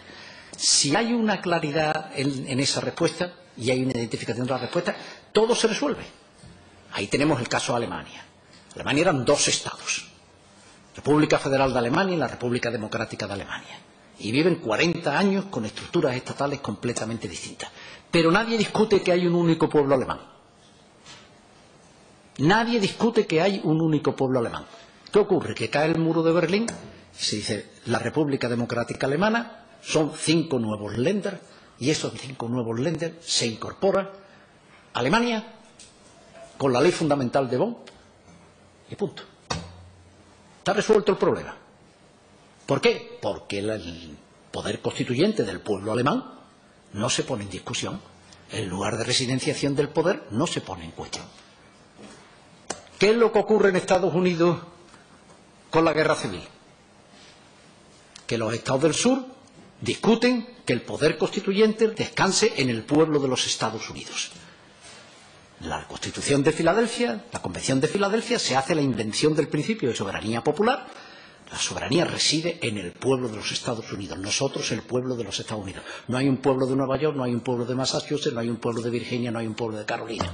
Hay un pueblo único que es el pueblo de los Estados Unidos. Llegan los años 60 y los Estados de la Confederación dicen no, la soberanía no reside en el pueblo de los Estados Unidos, sino en el pueblo de cada uno de los Estados miembros. Y por lo tanto existe un derecho natural permanente de cada uno de los estados a la secesión, a la autodeterminación, a constituirse en estado independiente. Y entonces se constituye la Confederación del Sur. Resultado la guerra. En el momento en el que hay una disputa sobre el lugar de residenciación del poder, ya no hay respuesta jurídica, política y jurídicamente ordenada. Y lo único que es la fuerza. La guerra civil más espantosa del siglo XIX, la guerra civil americana donde han muerto más americanos que en todas las demás guerras que se han librado por Estados Unidos a lo largo de toda su historia. Pues está así. O tenemos el caso de España. La soberanía nacional reside en el pueblo español del que emanan los poderes del Estado, dice el artículo 1.2 de la Constitución. Pueblo nada más que hay uno, el pueblo español. No hay ni pueblo andaluz, ni pueblo catalán, ni pueblo gallego, ni pueblo manchego. Hay nada más que un pueblo, el pueblo español. Pero resulta que en Cataluña, primero en el País Vasco, con el plan Ibarreche, usted que aquí hay un pueblo vasco, que es titular de un poder constituyente originario, y nosotros proponemos no hacer uso de ese poder constituyente originario para constituirnos en Estado independiente, sino que proponemos un estatuto de libre asociación con España definido unilateralmente por el Parlamento vasco. Ese era el plan Ibarreche, que era un plan no independentista, pero sí con fundamento independentista, en la medida en que rompía la unidad del poder constituyente y establecía que hay un poder constituyente del pueblo vasco distinto del pueblo español. Eso es lo que ocurre ahora mismo con Cataluña. Ya tenemos el lío. Cuando se plantea un problema en estos términos, no hay respuesta política jurídicamente ordenada. Hay que inventarse la respuesta. La invención de la respuesta puede ser una respuesta política, pacífica, que acabe encontrando alguna vía de convivencia, o puede no serlo. Y puede no serlo pacíficamente, como ha ocurrido entre Chequia y Eslovaquia, que era un Estado y que desapareció, o puede no serlo y acabar a mamporros como ocurrió en la antigua Yugoslavia. Pero este es el problema de fondo. El problema de fondo es el lugar de residenciación del poder. Cuando este es un tema que está resuelto, todos los problemas están resueltos. Esto a escala europea no lo tenemos. y, de momento es muy difícil, no sé cuándo. En algún momento tendremos que aproximarnos a algo parecido. Algo parecido pero de momento no lo tenemos y lo estamos construyendo con sucedáneos, a través de acuerdos de Estados y de, yendo, y de ir creando instituciones, Banco Europeo, transferencias de soberanía que se están haciendo y que se están traduciendo en que realmente operan. Banco Europeo, pues ahora mismo la política monetaria la fija el Banco Central Europeo. Y a esa la estamos aceptando todos. Todos. El Tribunal de Justicia de las Comunidades Europeas interpreta y resuelve de manera vinculante y aceptamos la jurisprudencia del Tribunal de Justicia. Hace unos días hemos visto que el Tribunal de Justicia le ha dado la razón al Reino de España en el tema de las subvenciones a los astilleros que la Comisión Europea había declarado que eran ilegales y el Tribunal de Justicia ha dicho que no, que no eran ilegales, por lo tanto que los astilleros no tienen que devolver. En otras ocasiones no nos ha dado la razón, como en el céntimo sanitario, y resulta que el céntimo sanitario que se impuso, pues resulta que es contrario al derecho europeo y que hay que devolver el céntimo sanitario, y ahora están todas las comunidades autónomas y todas las consejerías de Economía y Hacienda de las comunidades autónomas haciendo cálculos e instrumentando programas de ordenador para ver cómo se devuelve el céntimo sanitario. Pero está ahí y eso se va creando. Y así es como estamos construyendo Europa.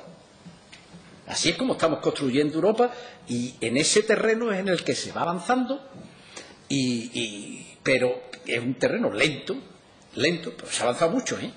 Se avanza mucho, ¿eh? Y la crisis esta última ha tenido una importancia extraordinaria en la construcción de Europa, ¿eh? La presencia de Europa, bueno, la prueba es que estamos mandando los presupuestos todos los años y que con los dolores de cabeza que eso conlleva y con todas las tensiones y una cosa de pero bueno, así es como lo estamos haciendo. Así es como lo estamos haciendo. Y, no sé si saldremos, tenemos retroceso, el caso de Polonia que ahora mismo tenemos, que es gravísimo, lo que tenemos en Hungría ahí a la vuelta de la esquina, estamos teniendo, o sea, estamos, porque encima se nos van viniendo encima pues todos los problemas que vienen de las crisis migratorias y las dificultades que tenemos para, enfrentarnos con eso. Pero, pero no, tenemos, no tenemos otra vía que, actuar ahí y que intentar, intentar que la complejidad enorme de la sociedad europea, de los 27 países, de alguna manera se pueda sintetizar políticamente y se pueden ir acabando, acabar tomando decisiones que, limiten, que limiten y que pongan lo que hace referencia a los derechos fundamentales y al respeto y la garantía de los derechos fundamentales a que el ejercicio del poder no se haga como se pretende hacer en Polonia, que ahora mismo han quitado a los magistrados del Tribunal Constitucional que había sido nombrado la legislatura anterior y lo quieren sustituir directamente por el nuevo gobierno. En fin, hacer cosas que no se puedan permitir que se puedan hacer, ¿no? Pero, la síntesis hay que hacerla, ¿eh? Las sociedades son. el grado de complejidad de una sociedad es imposible de manejar directamente. la política existe para hacer una síntesis de la sociedad, para hacer una, una reducción la complejidad, una reducción de la complejidad. Y los partidos políticos y el sistema electoral son los instrumentos a través de los cuales se hace la reducción de la complejidad social. Para que esa complejidad social tenga una síntesis política y a partir de ahí se puedan tomar decisiones y se evite entrar en un proceso de descomposición. Entonces, eso se ha hecho siempre a través de la institución parlamentaria. En el Estado Nacional se ha hecho a través de la institución parlamentaria, primero con unos parlamentos, con un sufragio censitario en el que lo que estaba representado era un porcentaje bajísimo de la población, en todas partes, en Inglaterra es el 5% con la gran reforma electoral de, 1900, de 1832, la gran reforma electoral del 32 que se equipara a la Revolución Francesa en la historia constitucional, lleva al porcentaje de la población que participa en el proceso político el 5%. Hasta 1860 y tanto no pasa al 12%, hasta 1887 no sube al 14%, hasta 1911 no hay sufragio universal masculino y hasta 1927 no llega al sufragio universal femenino. Es decir, que el Estado representativo inglés para convertirse en un Estado democrático ha tardado todo ese tiempo. Todo ese tiempo. Y mientras ha sido un Estado fortísimamente oligárquico. Y ese proceso de democratización ha ido avanzando poco a poco. Cuando se llega a ese proceso de democratización y se consigue que realmente el Estado sea representativo del conjunto de los ciudadanos, entonces es cuando empieza la globalización a operar. Y muy bien, pero yo me escabullo. Yo soy el más fuerte y ahora me quito el control que usted me ejerce. Y empiezo a situarme en paraísos fiscales, a montar por aquí. Y tenemos todas las grandes empresas mundiales que no pagan impuestos en ninguna parte. ¿Qué? Bueno, si han pagado alguna vez, claro que han pagado. En los años 50, 60, claro que lo pagaban. ¡Oh! Que sí lo pagaban. En los años 40, 50, 60, claro que los pagaban. Cuando han dejado de pagarlo es a partir de los 80, a partir de finales de los 70, principios de los 80. Entonces, ¿cuándo ha empezado a dejar de pagarla? Y ahí es donde se nota la diferencia. Y ahí es donde ha habido grandes decisiones políticas. O sea, la política ha actuado en buena medida para ir reduciendo los controles. Porque tenían, claro, tenían el poder, tenían el poder y conseguían comprar financiar las campañas electorales y conseguir, y eso en Estados Unidos e Inglaterra se está empezando haciendo, de ahí se ha ido extendiendo. De ahí se ha ido extendiendo. Entonces, ahora estamos en un momento en el que eso de alguna manera hay que revertirlo. Es que si no lo revertimos, va a ser la propia democracia la que va a ser muy difícil de mantener. Con el grado de desigualdad que se está imponiendo, es muy difícil. Es muy difícil. O sea, la, igualdad y la desigualdad son una ficción, ya he dicho que no es una realidad. Los seres humanos somos diferentes, no somos iguales ni desiguales. Pero tiene que haber alguna conexión con la realidad. Tiene que ser una ficción que no choque tan brutalmente con la realidad que resulte simplemente no creíble. Y ahora mismo estamos llegando a ese momento en el que dice, es que no es creíble, es que no es creíble, es que cuando hay una situación en la que la última, en la situación esta de crisis, desde el año 2007 hasta el día de hoy, el 95% del crecimiento de la economía en Estados Unidos ha ido al 1% de la población.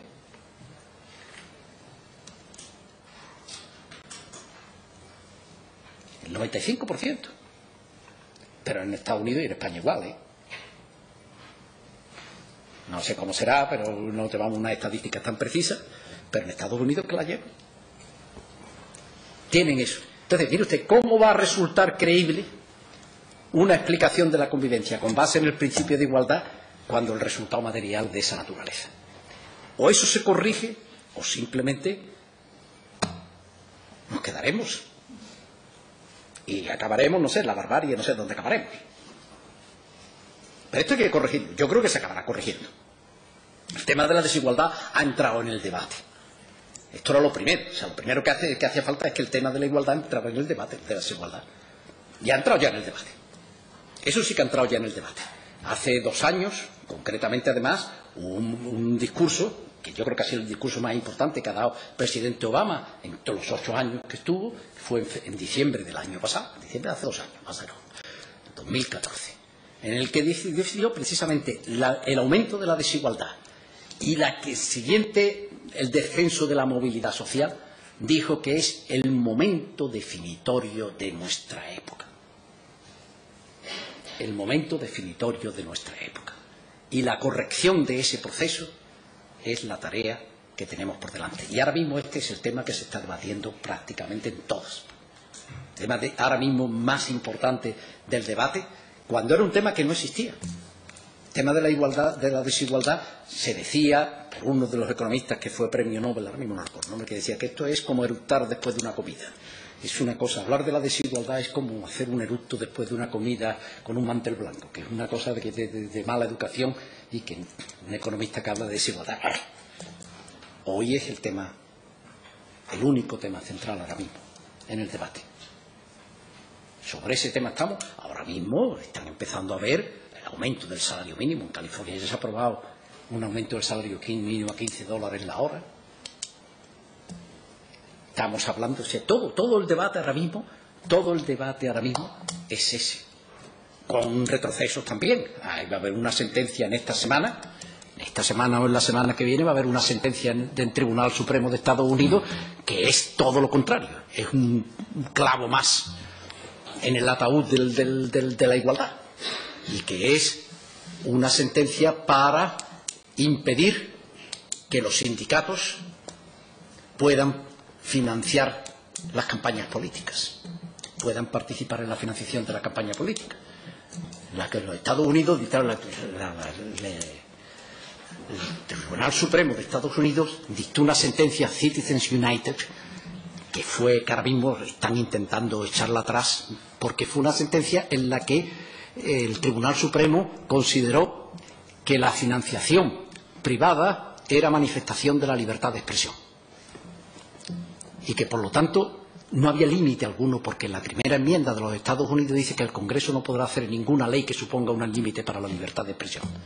Entonces consideró que la financiación privada electoral es libertad de expresión y que por lo tanto es ilimitable. Y de ahí es donde ha venido el crecimiento exponencial y donde ha salido el Tea Party y todas las cosas estas que han salido. Todo esto viene de ahí.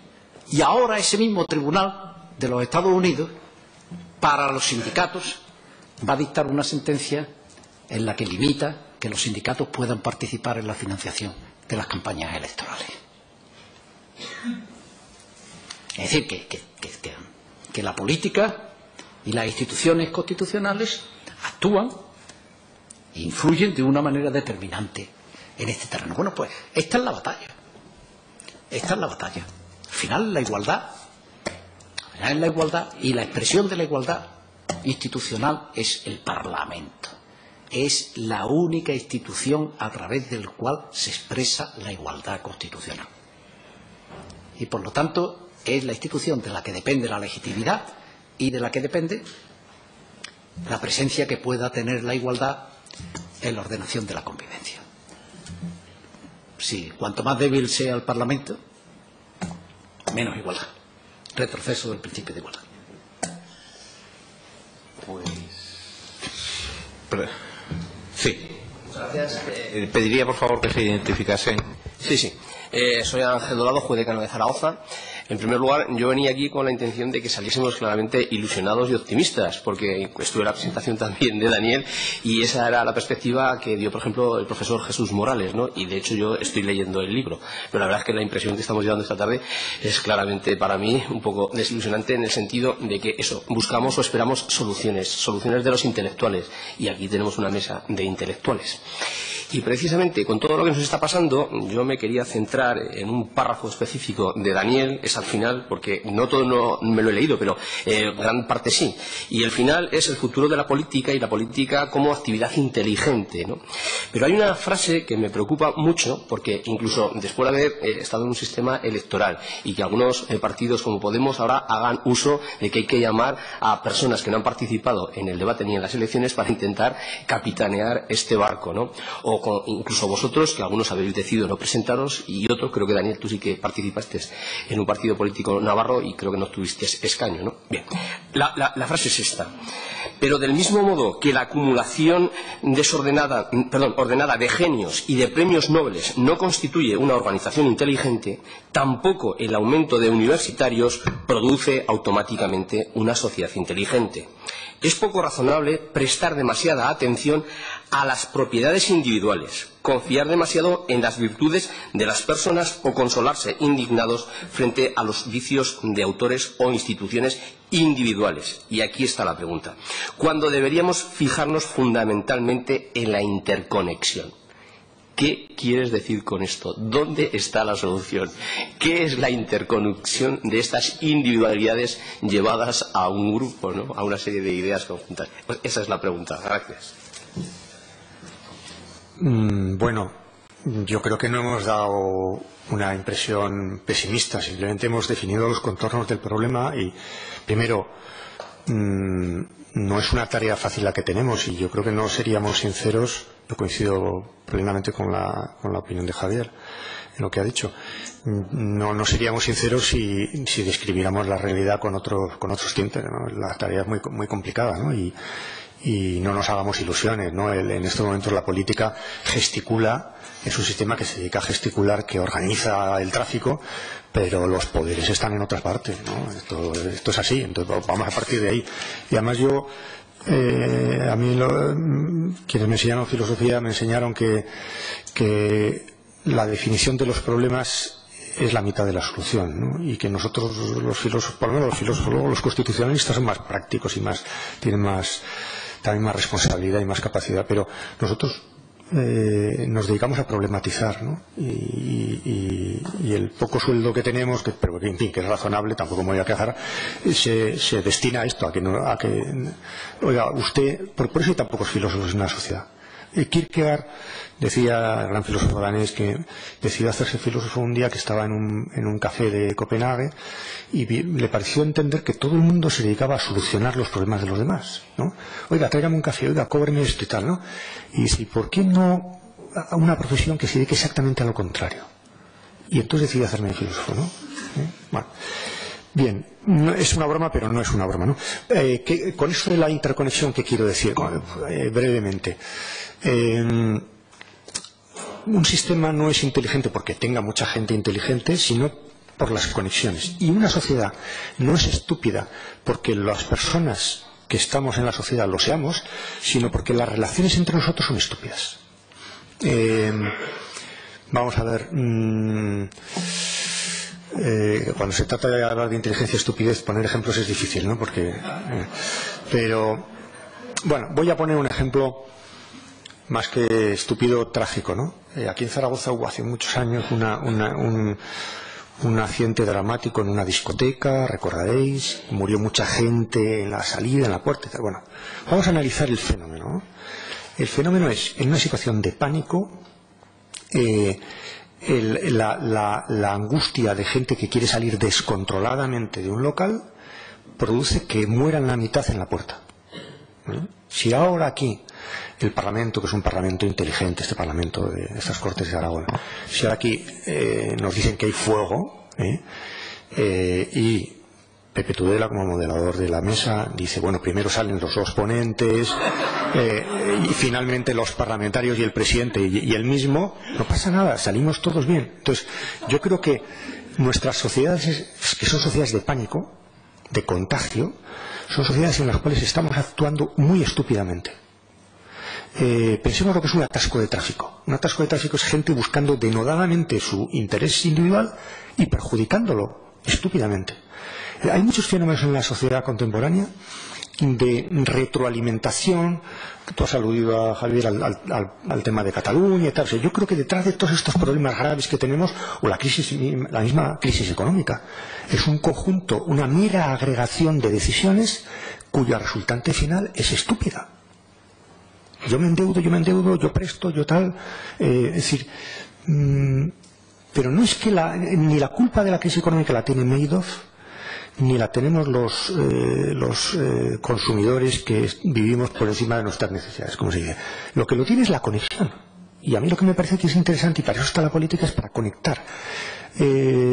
Porque la, regulación de los mercados financieros tiene que buscar provocar comportamientos anticíclicos. Aquí hay una, una idea genial a la que, eh, que se le ocurrió es una idea verdaderamente genial. Es decir, cuando la gente eh, tiene eh, asume demasiados riesgos, lo que tiene que hacer la política es meterles miedo. Y cuando la gente, como ahora, está muerta de miedo, lo que hay que hacer es reavivar el consumo. ¿no? Bueno, hay que actuar contraintuitivamente. La política tiene una, una tarea de actuar contra la gente. Si puedo utilizar esta expresión entre comillas, contra la gente, contra la espontaneidad. Por eso yo no creo nada eh, ni en los mercados que se autorregulan, ni en el espacio digital en el que todo el mundo es magnífico. Yo creo que espacios de pura agregación son espacios estúpidos y son espacios que producen resultados malos.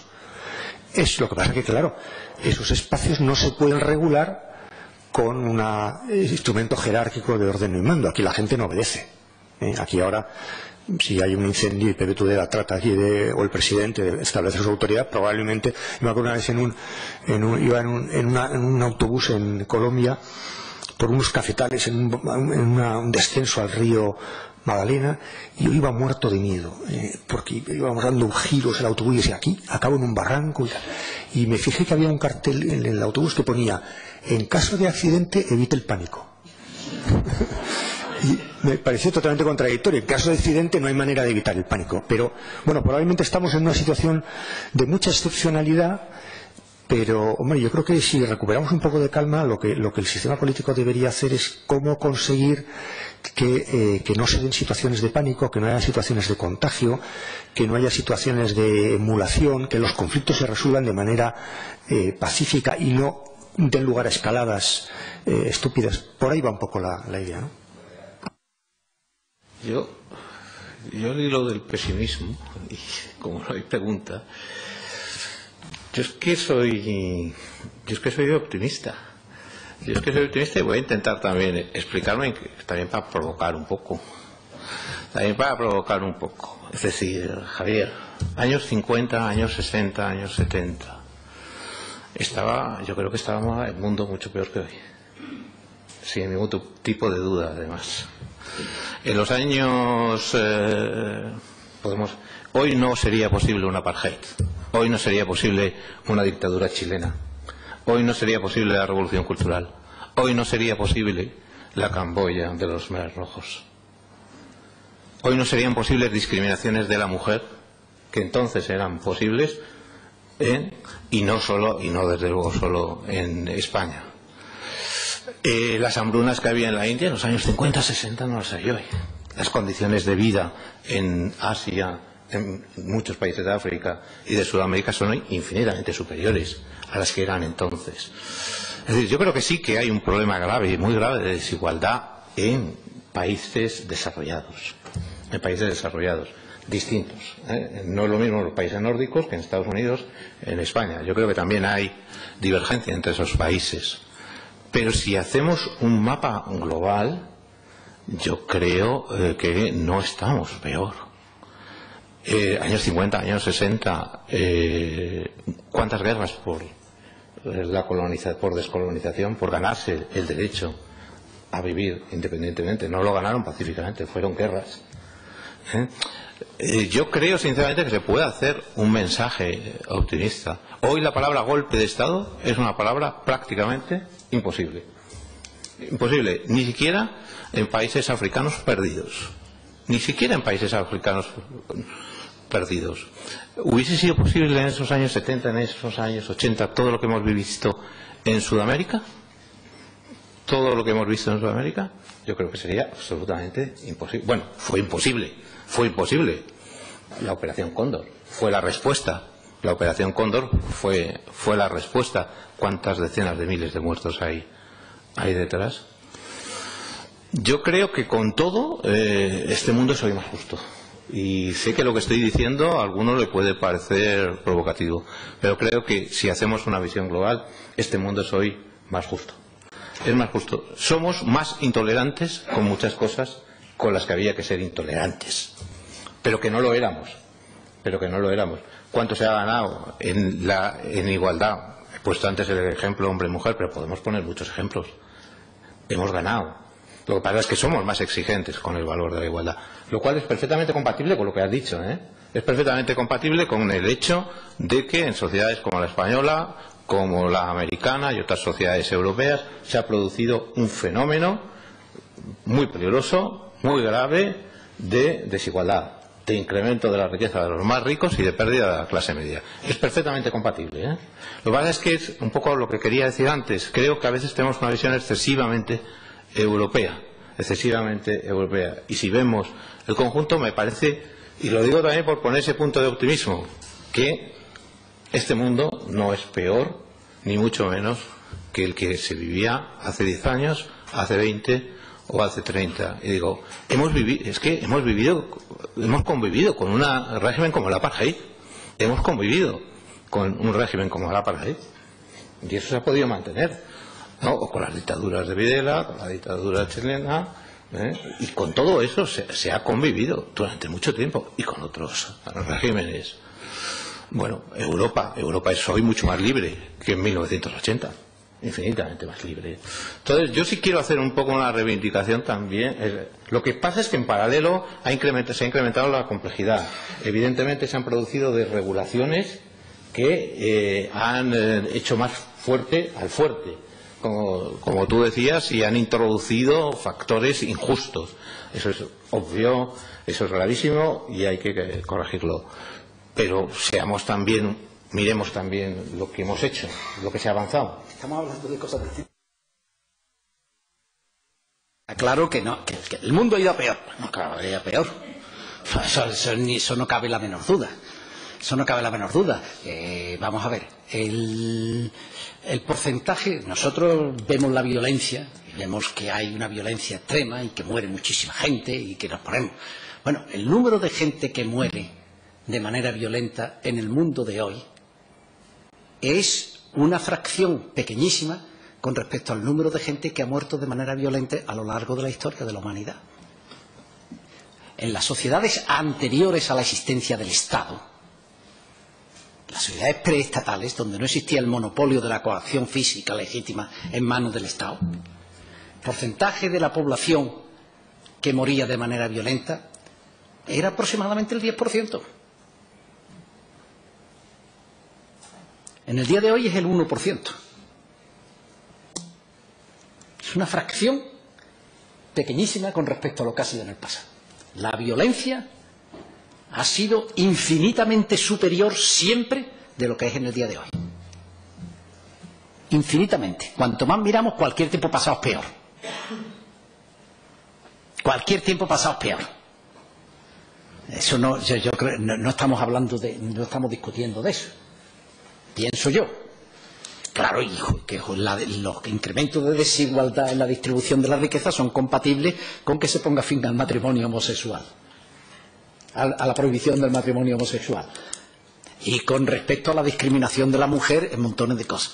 Y a pesar de que hablamos de violencia de género y que es una cosa insoportable, si miramos hacia atrás, lo que pasa es que entonces ni las contábamos. Entonces que ni se contaba. Pero si lo hubiéramos contado, hubiera sido terrible. Es decir, que en eso no es discutible. Yo lo que quiero decir es que lo que se espera es que avancemos. Lo que se espera es que realmente a través de decisiones de naturaleza política que se adopten por la sociedad permitamos una autodeterminación de la conducta de cada uno de nosotros cada vez mayor. Y en eso no estamos avanzando ahora. Ahí, no sé, ahí es donde yo digo, donde yo creo que se están produciendo y donde, claro, Europa está mejor y no tenemos a Pajay. Pero ahora dile tú a la gente de Oriente Medio que está mejor. A Siria, a Irak, a la que se está montando en toda esa zona. ¿Mm? Es decir, que, que, que estamos, estamos y que, y que realmente estamos asistiendo a un desmoronamiento de un orden que, tendrá que dar paso a otro, que en ese orden se está desmoronando porque había muchos elementos que eran dignos de ser desmoronados, sí.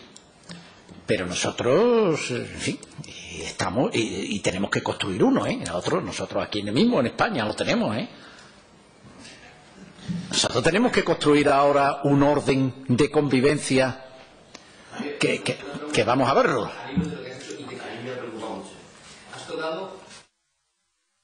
Y dices, y ha habido en Europa dos soluciones, Checoslovaquia y Yugoslavia.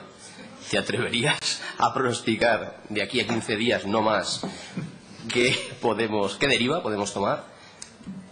Yo creo que ninguna, ni la una ni la otra. Yo, yo creo que ni, ni, la una ni la otra. O sea, yo no veo. Yo, vamos, yo la independencia de Cataluña no la veo. De ninguna de las maneras.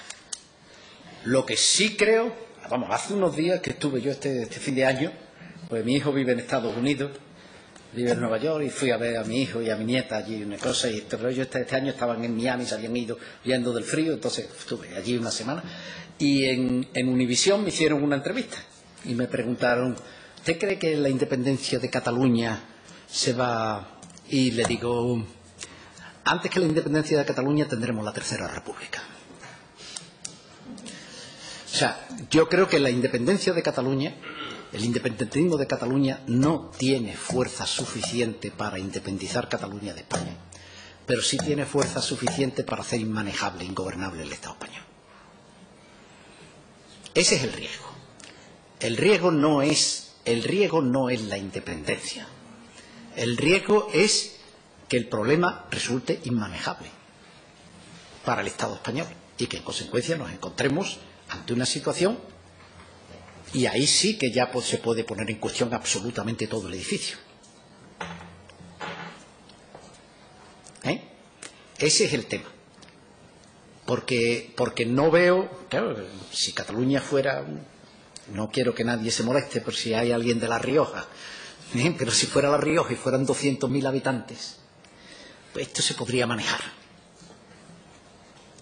Pero Cataluña, Cataluña es, no es posible, no es posible gobernar España sin Cataluña. Gobernarla democráticamente. No democráticamente la gobernó Franco. No democráticamente la gobernó Franco. Pero democráticamente, democráticamente no es posible gobernar España sin que Cataluña esté incluida dentro de la fórmula de gobierno y participe de la fórmula de gobierno. Y eso es lo que se está. Cataluña se está. electoralmente ya se ha ido. Políticamente todavía no.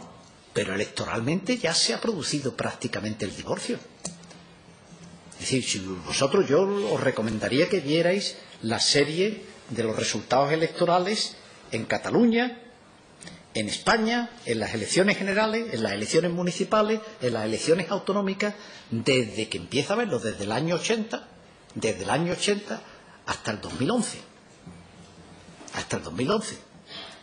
Y, y a partir de entonces, o hasta el 2010, y a partir de entonces. Y ahí hay un divorcio. Ahí hay un divorcio. El sistema electoral eh, español y el subsistema electoral catalán son primos hermanos. No hermanos gemelos, pero sí hermanos o primos hermanos. Y la distribución, hay tres grandes partidos, que tanto en Cataluña como en España son los que articulan el sistema político. Los dos grandes partidos nacionales españoles, PSOE y PP y Convergencia y Unión. En Cataluña con una configuración, en España con otra distinta, ¿eh? Pero el PP actúa de complemento de Convergencia y Unión cuando no tiene mayoría absoluta, Convergencia y Unión actúa de complemento del PSOE del PP cuando no tiene mayoría absoluta. Pero definen el sistema electoral español y esto de una manera Y no hay, no hay divorcio en absoluto. Hay una, entre el Partido Popular y el Partido Socialista tienen el 50% hasta en las peores condiciones, en las elecciones autonómicas, en las municipales y en las generales mucho más. Han pasado a ser partidos testimoniales y cada vez más testimoniales y progresivamente testimoniales. ¿Se puede gobernar España con cuatro diputados en Cataluña? ¿Puede ser un partido de gobierno de España un partido que tenga cuatro diputados en Cataluña, que no esté presente nada más que en Barcelona y que no tenga representación en ninguna de las otras tres provincias catalanas? Eso no ha pasado nunca. Eso no ha pasado nunca. Entonces, esa es la, esa, ese es el problema. Y aquí ha dicho, aquí no pasa nada, aquí no pasa nada, aquí no pasa nada. Pues sí pasa, sí pasa. Y esto se tenía que haber hecho y ahora no sé cómo lo vamos a resolver. Ahora, el problema es que ahora ya no sé cómo lo vamos a resolver. Porque, claro, lo suyo sería una reforma de la Constitución, lo suyo. Sería una reforma de la Constitución. Ahora, yo no sé si Cataluña participaría en una reforma de la Constitución ahora mismo sin un referéndum previo. Sin un referéndum previo. Que no debería de, no debería de haberse celebrado, porque el referéndum es muy mal, muy mal instrumento para solucionar el problema, porque es una fórmula muy divisiva. Muy divisiva pero es que no sé yo si ahora mismo se puede prescindir del, referéndum ya. Se puede prescindir del referéndum y cuanto más tiempo pase, probablemente más problemas vamos a tener. Problemas vamos a tener. Y entonces no sé, ese, ese, ese es la. Entonces, independencia no, porque además la mayoría de los ciudadanos de Cataluña no quieren la independencia, está claro, o sea, está viéndose en la. Estamos hablando de los que participan no del censo electoral, que si cogiéramos sobre el censo electoral es un 34, un 35%. Los que han votado independencia y que ese voto independentista es enormemente heterogéneo. Porque si fuera homogéneo, también.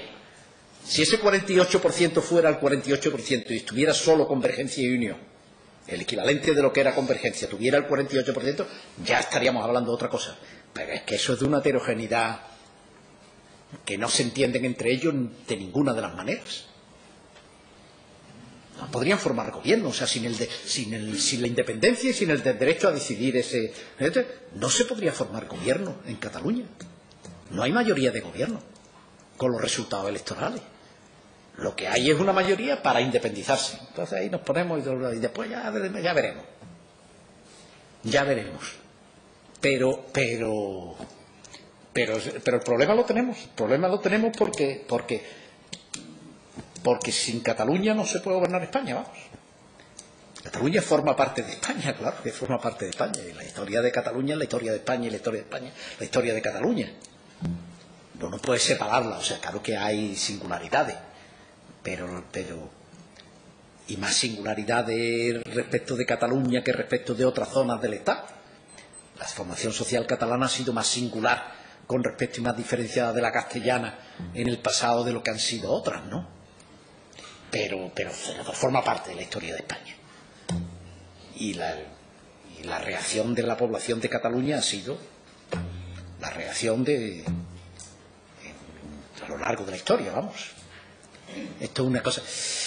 Entonces, eso sea ahora mismo, ahora mismo estamos en una situación de divorcio sentimental muy fuerte, de divorcio electoral, y con, una, y, con un discurso único. Cataluña es que en Cataluña nada más que hay un discurso ¿eh?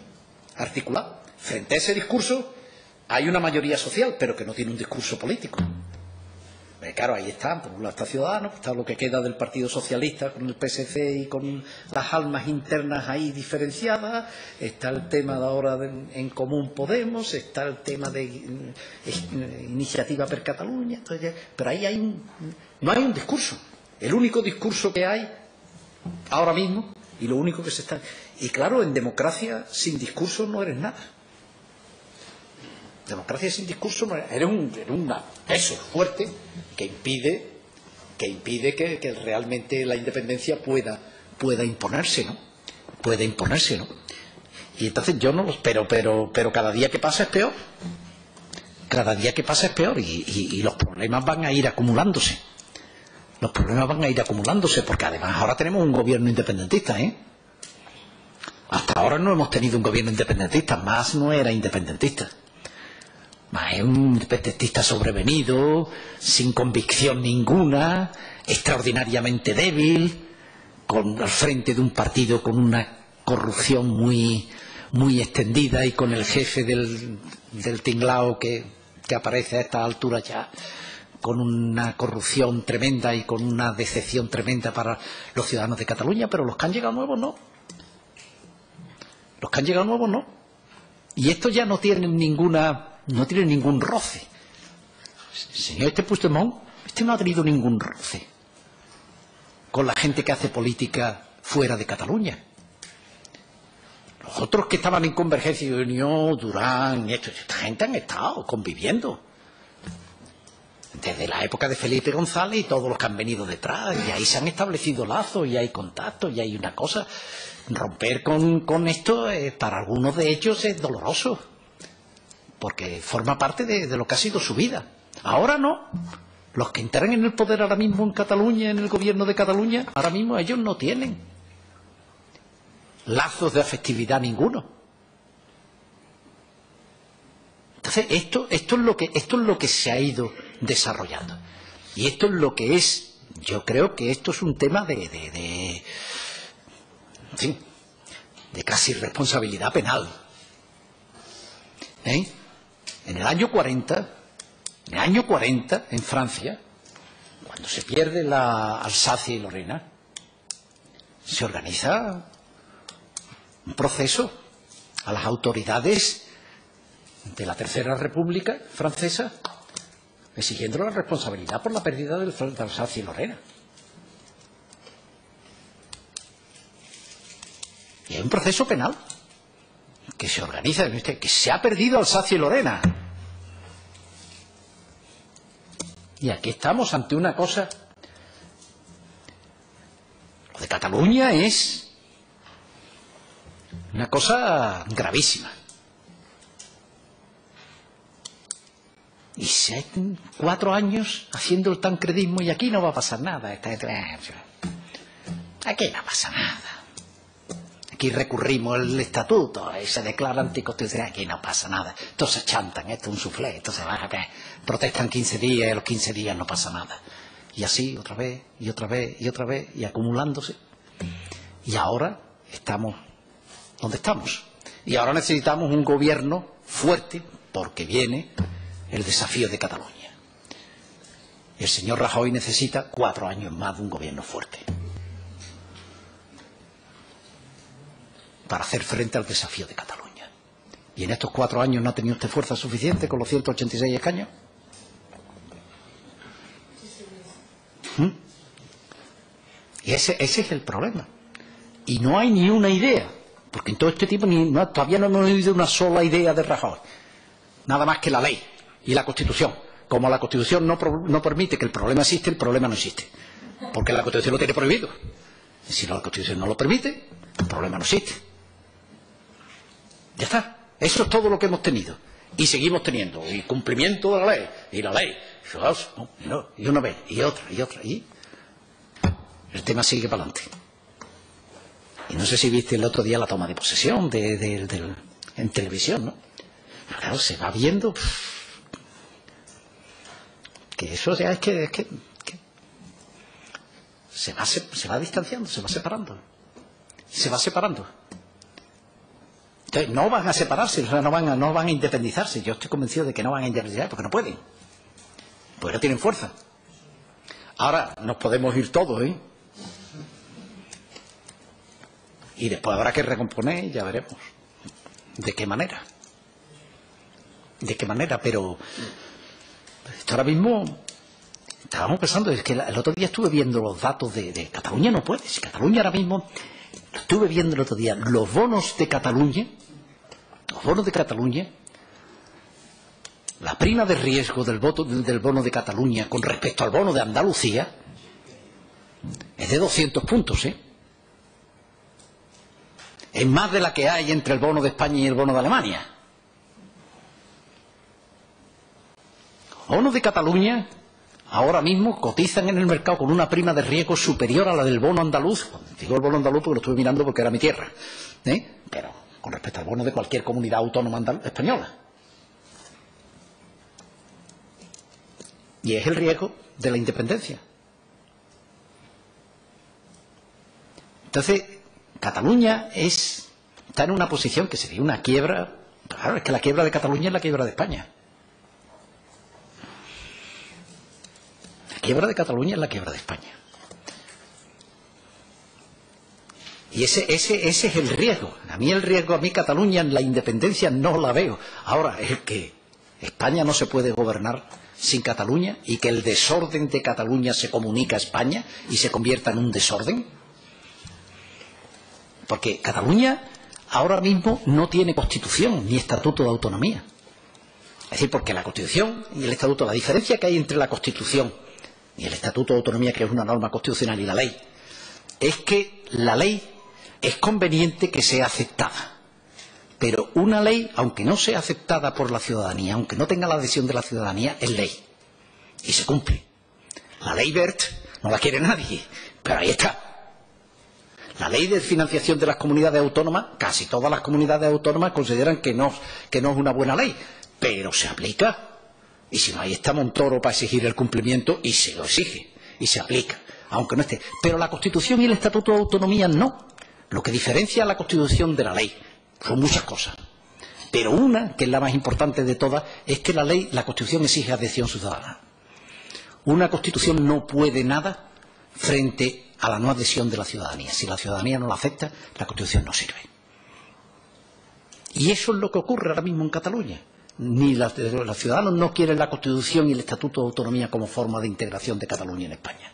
Y no tienen constitución y no tienen estatuto de autonomía, no tienen bloque de constitucionalidad. Y cuando eso no ocurre en democracia, la consecuencia es inevitablemente el desorden.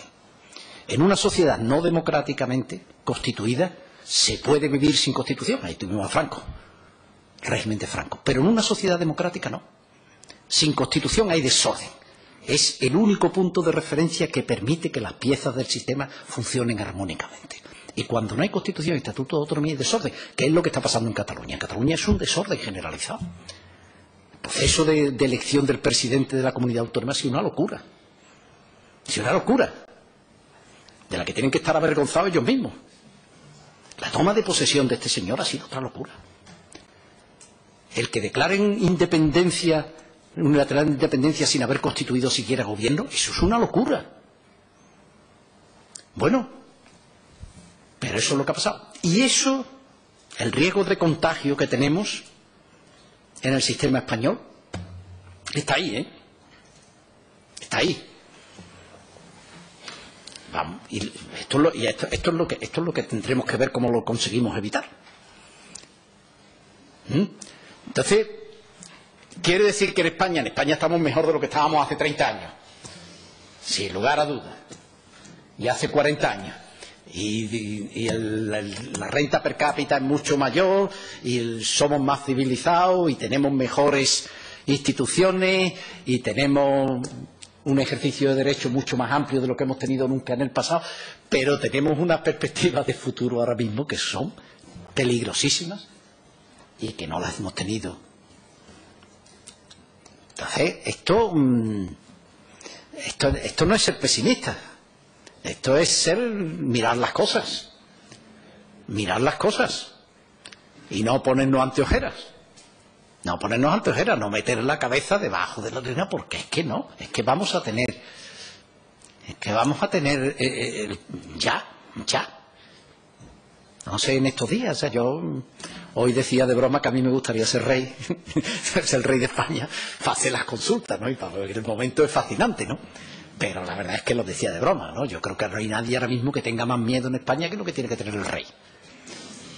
Tiene que estar auténticamente con una preocupación y con unas... Decir, ahora empiezo a recibir ¿y qué hago? Y propongo a Rajoy. Propongo a Rajoy para que haga la investidura. ¿Puedo no proponerlo? Pero tiene que estar planteándose, ¿eh? Porque para poner a Rajoy es un riesgo, es un elemento de riesgo brutal ahora mismo, ¿eh? O sea, no, no, es una, no es una fuente de seguridad, no es un instrumento de ninguna de las maneras. Ahora mismo es un elemento de riesgo. Yo, mi pronóstico, mi pronóstico es que, que- aquí tiene que, ser- que, que tiene que ser del Partido Popular, pero que no puede ser Rajoy, ¿eh? Que no puede ser Rajoy. Porque ni sabe, es que Rajoy ya no le entra en la cabeza, es que no le entra en la cabeza ninguna, está, está, está bloqueado, está en cosa. Y no tiene autoridad para poder proponer ninguna respuesta. Ni para abrir contactos, o sea, es importante, ya que se ha ido más ahora mismo, y que, eh, pues que venga alguien a ver cómo se puede abrir un espacio en el que, en el que se pueda haber un terreno de juego. Haber un terreno de juego, pero el rey tiene que estar muerto de miedo ahora mismo. Porque un resbalón es. Un resbalón es terrible. Un resbalón es terrible. Pero. Y esto, esto es así, eso no. Entonces, por eso cuando digo pesimismo, una cosa es: España está mejor, España está mucho mejor que cuando se muere Franco. Está evidentemente. No cabe la menor duda.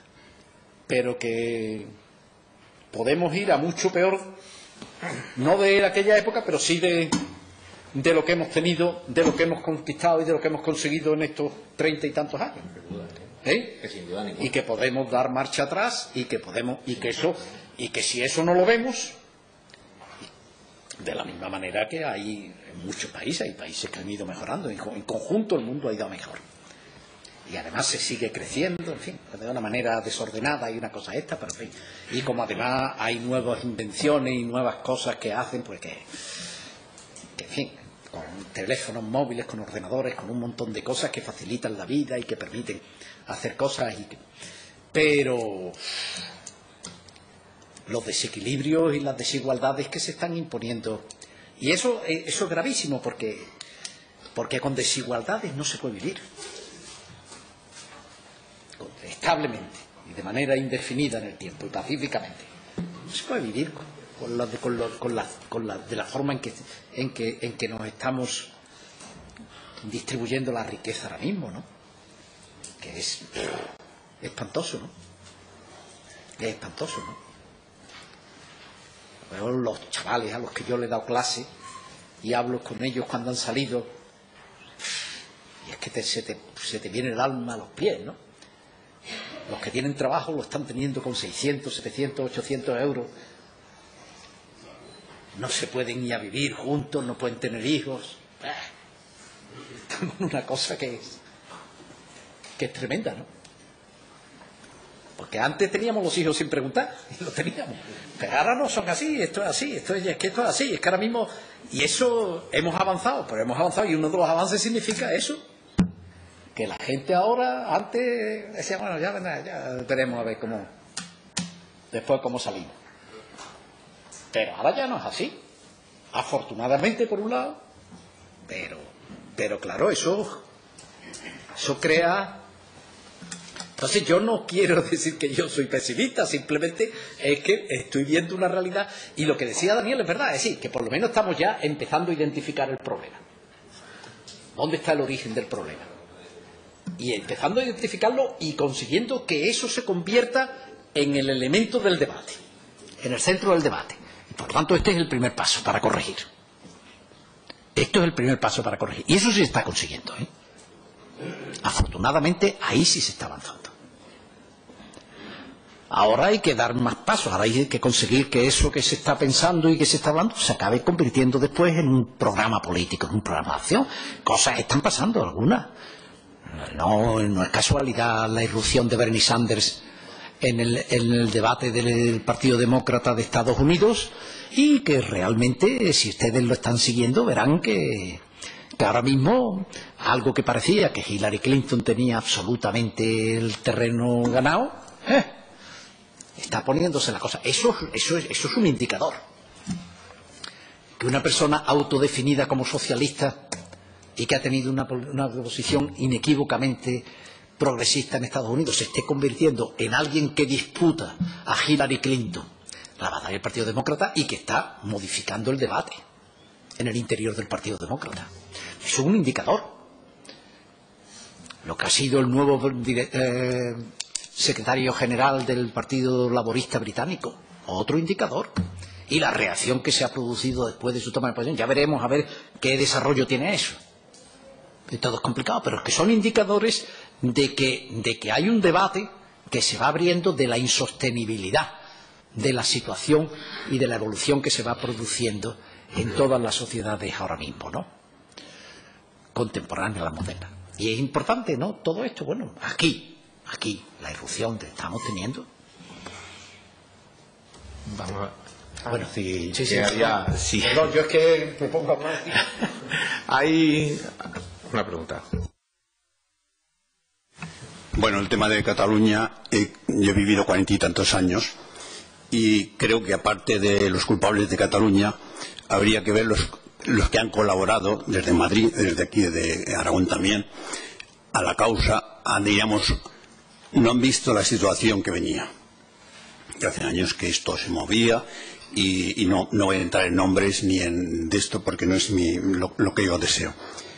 Lo que se hablaba antes de que hemos adelantado mucho, pero si distinguimos entre lo que es la tecnología que ha avanzado a marchas de, la luz y lo que es las ciencias sociales que han avanzado a marcha, diríamos, de, un vehículo muy lento.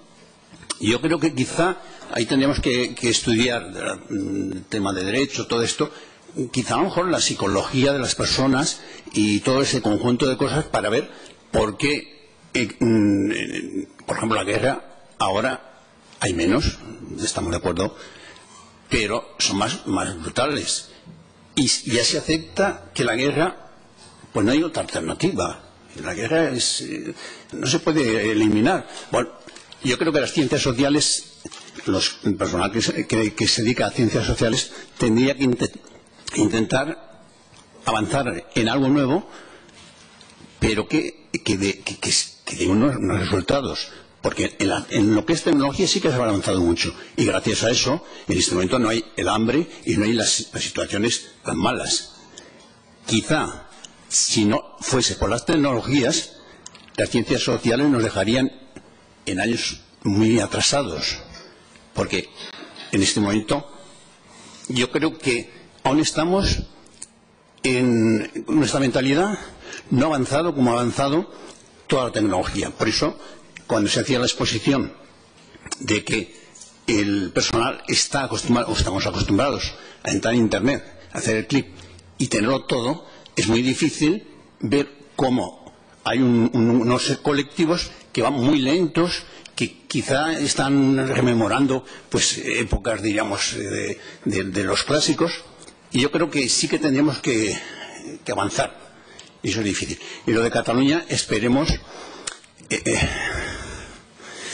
esperemos, pero que habría que, algunos coger y se les tendría que caer la cara a vergüenza porque a la hora de verdad han mirado a otro lado y no, no han contribuido nada más que al momento instantáneo. Buenas. Eh, yo me llamo Juan Arena y trabajo de técnico en la Universidad de Zaragoza.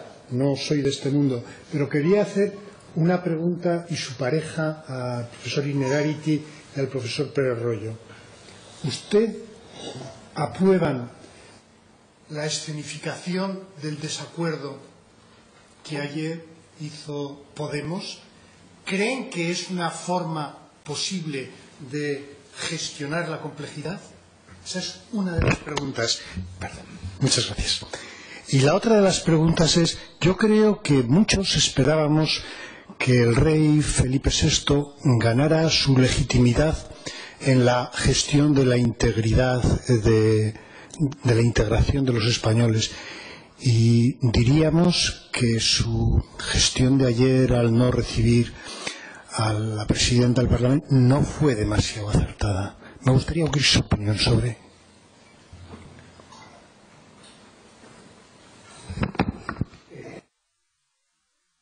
mm, respecto a esa intervención, yo estoy muy de acuerdo. Me parece que es muy evidente que, que vivimos en un desajuste. Este mundo en el que estamos, hay un desajuste entre el desarrollo tecnológico, económico y, y el analfabetismo a la hora de integrar ese desarrollo en un equilibrio eh, ecológico, de justicia social, eh, de respeto a, las personas. ¿no? Y esto eh, voy a barrer un poco para casa, también muy poco.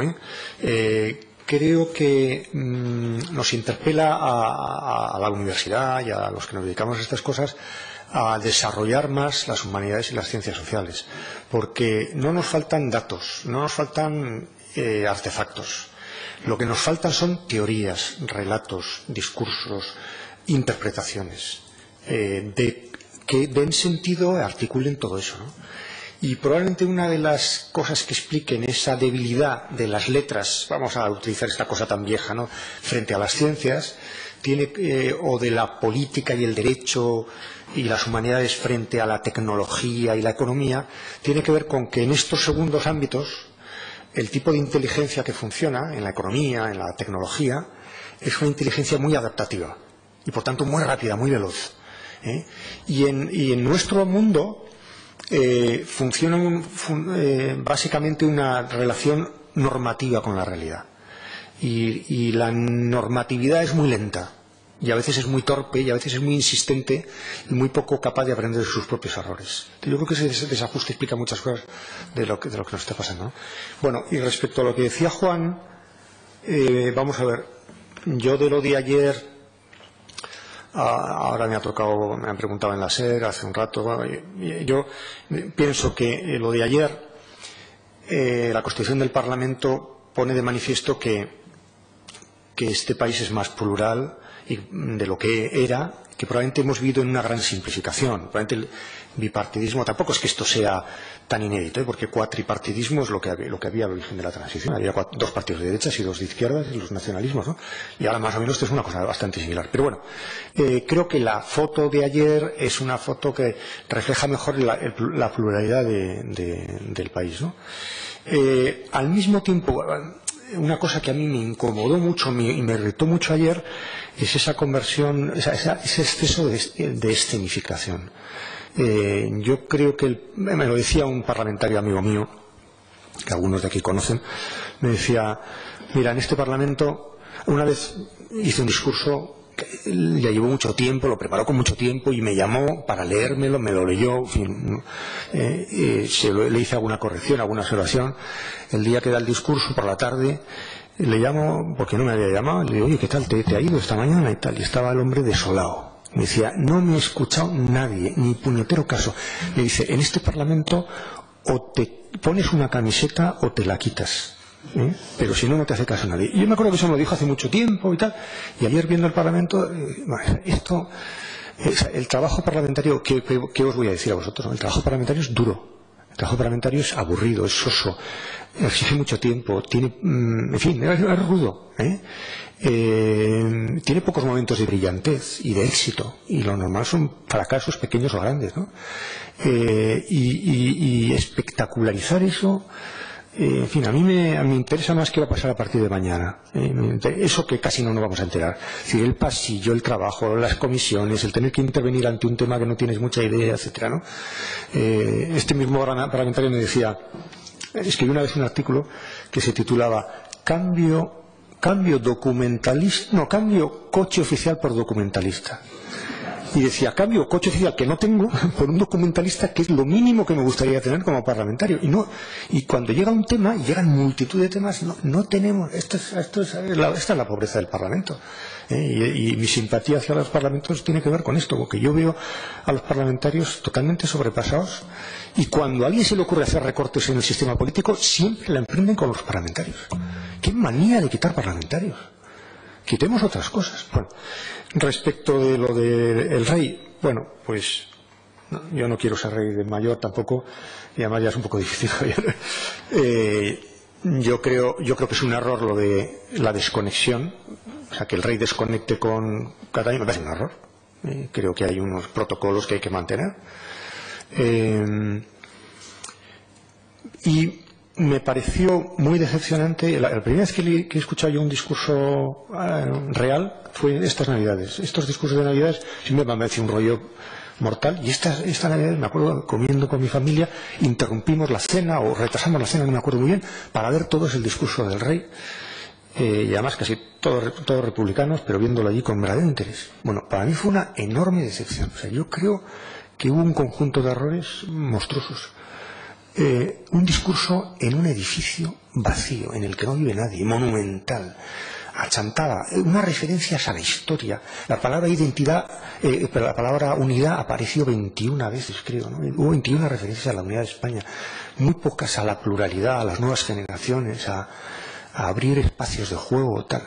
¿no? Me pareció penoso, ¿no? Pero, en fin. Eh, creo que también ha tenido otros aciertos anteriores y espero que eso sea un fallo que todos cometemos, entre otras cosas porque también este sistema político nuestro es muy despiadado.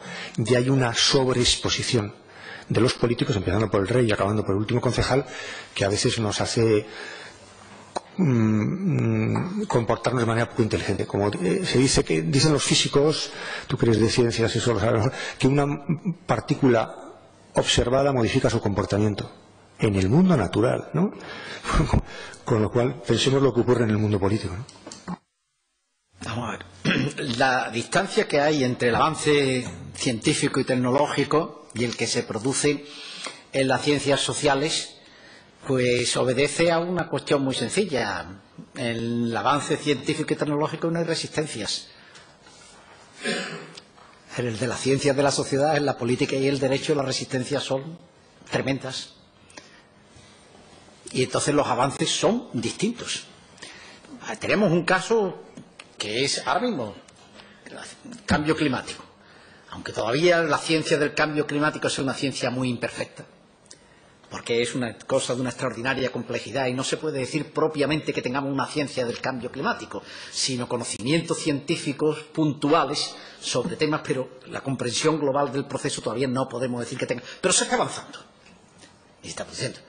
¿Qué es lo que, que, ocurre? Que cuando esos conocimientos científicos se tienen que traducir en acción política y en respuesta, pues las resistencias son inmensas. Y se llega a la reunión de París y en la reunión de París se dice, bueno, las decisiones no pueden ser vinculantes porque el Congreso de los Estados Unidos no va a aprobar el carácter vinculante del tratado que se acuerda. Esa es la realidad.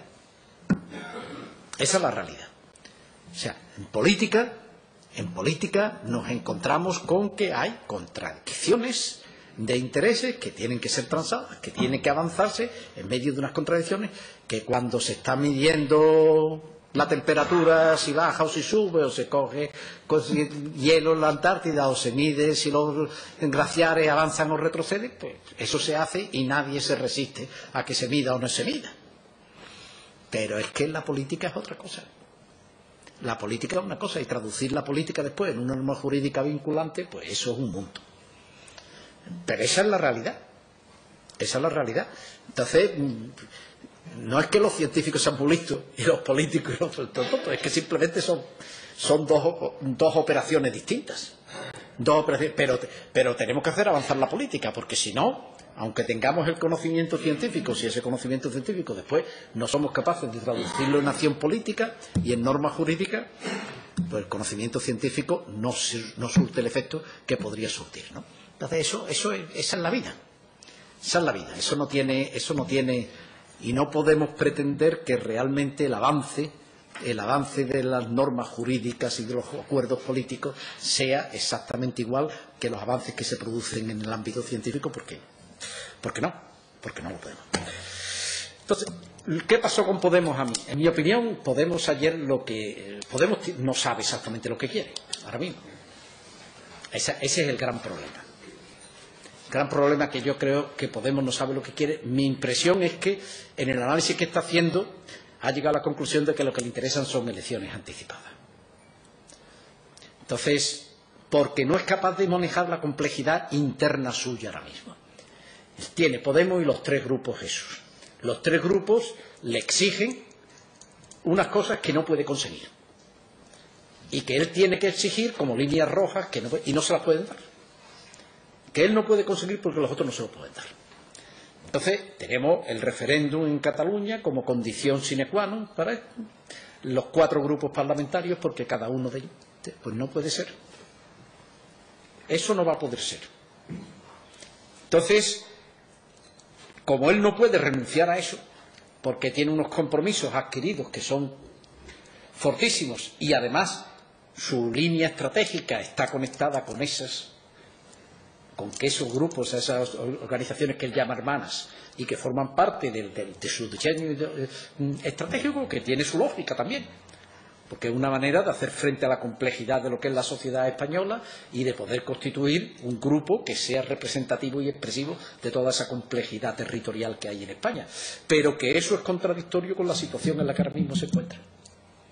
Y entonces, como no sabe qué es lo que tiene que hacer, pues eh, yo creo que está llevando a, su discurso o en la búsqueda o bien elecciones anticipadas o bien que el Partido Socialista, Ciudadanos y, el PP acaben y yo me pueda entonces mantener mi discurso. Ven ustedes el búnker de los tres de siempre, el inmovilismo y nosotros, y el PSOE no quiere el cambio, sino que al final acaba con. Entonces, esa es. ¿Puede salir de ese? Pues no lo sé.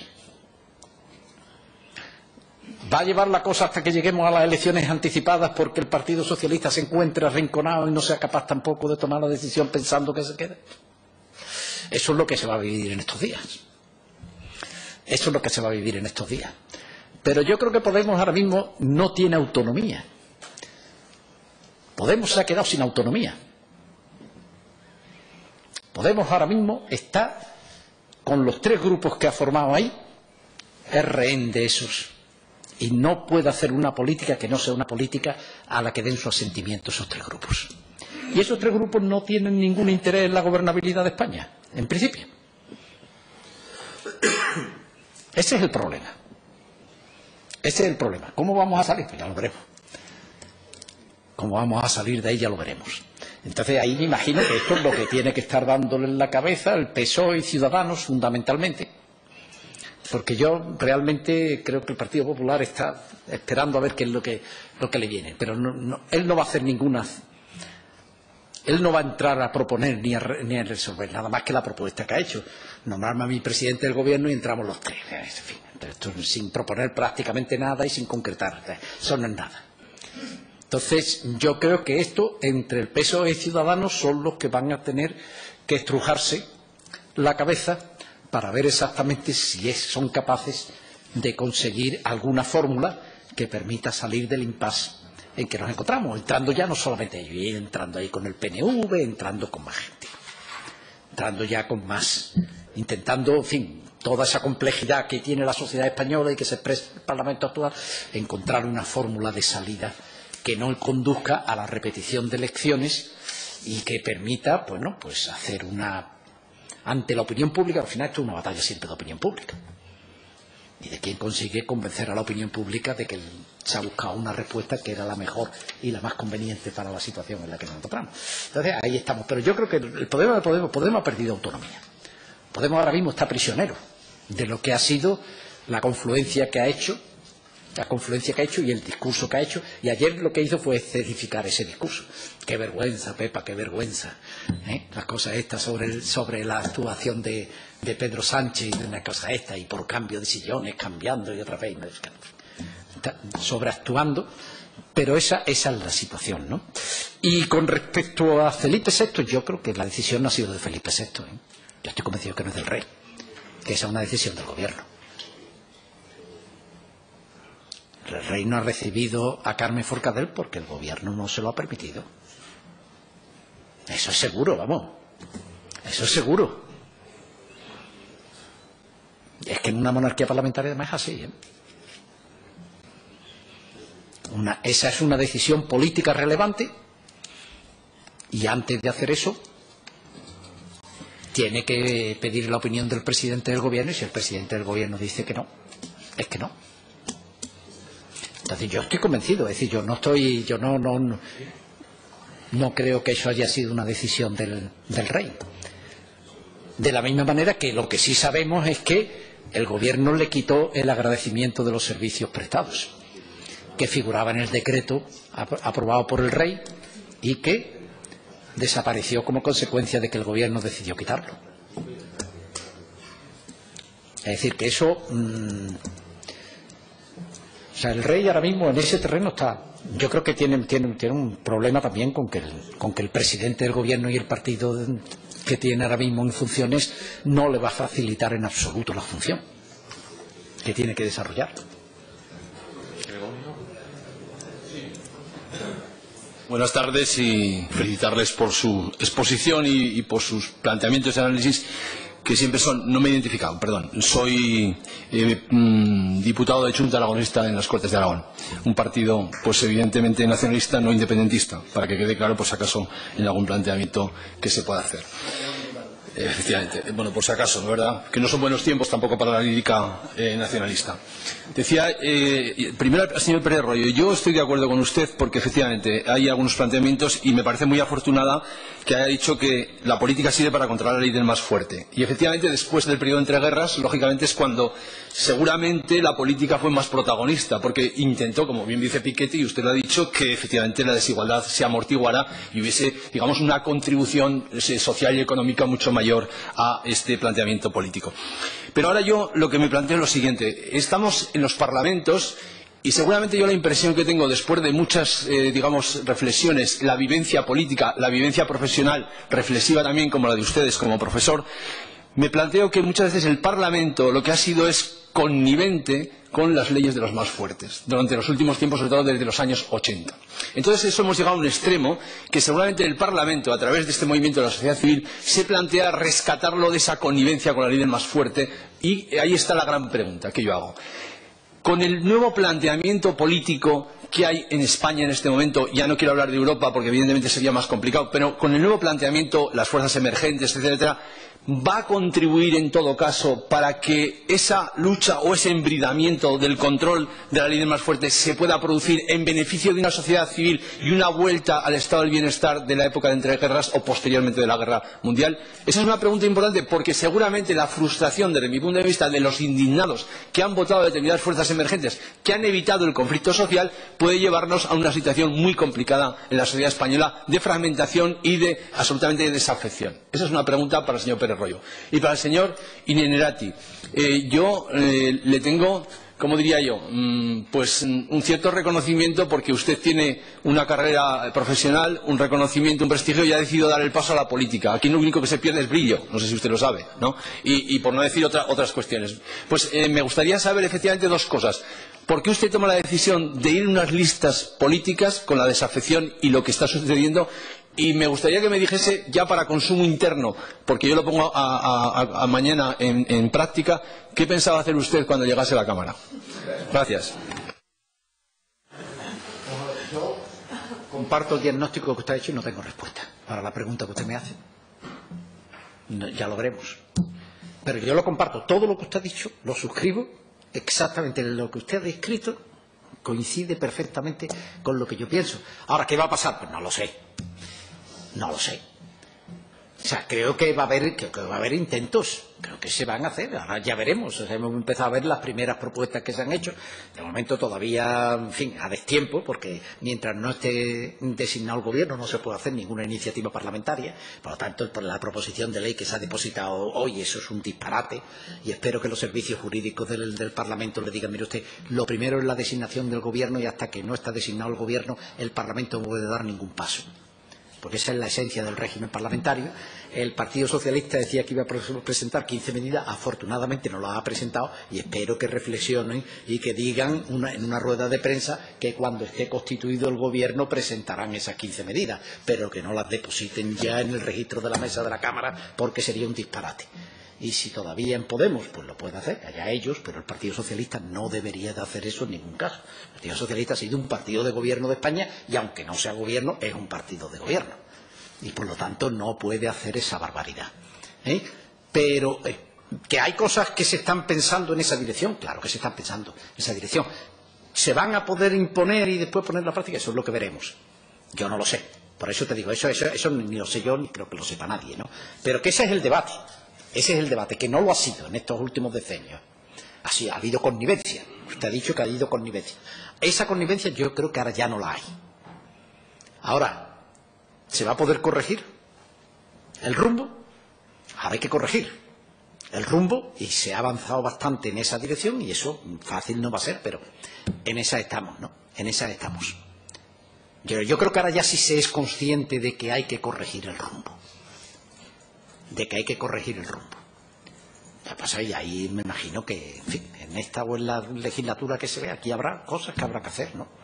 Habrá que hacer, ¿no? En algún momento habrá que tomar, hacer que el Parlamento tome nota de lo que ha sido la quiebra de las cajas de ahorro y la quiebra bancaria y el coste de eso y que se y que se, eso eso no se ha hecho es que no que nosotros ahí dice el Banco de España lo que sabe usted que eso tiene que hacerlo el Parlamento que eso tiene que hacerlo el Parlamento y exigir las responsabilidades que sean y poner blanco sobre negro y saber exactamente cuál ha sido el comportamiento del Banco de España, de todas las personas que han intervenido y hacer una limpia.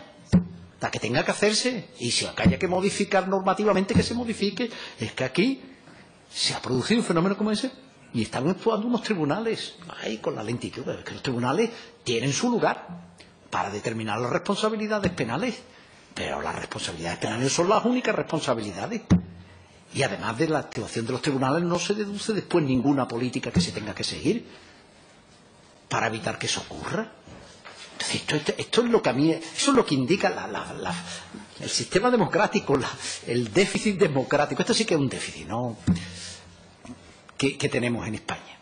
No hemos tenido una cosa tan brutal como esa, que el sistema financiero se ha ido y que ha sido una expropiación, porque eso es una expropiación, además, a la sociedad española.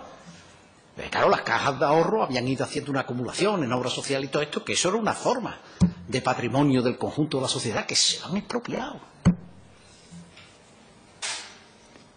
Y nos hemos quedado y hemos tenido que poner veintitantos mil millones para Bankia nada más y cuarenta y tantos mil millones, pedí un préstamo de cien mil millones, un rescate bancario de cien mil millones del que se han utilizado cuarenta y dos mil, del que no se va a recuperar casi nada y que ya nos están diciendo.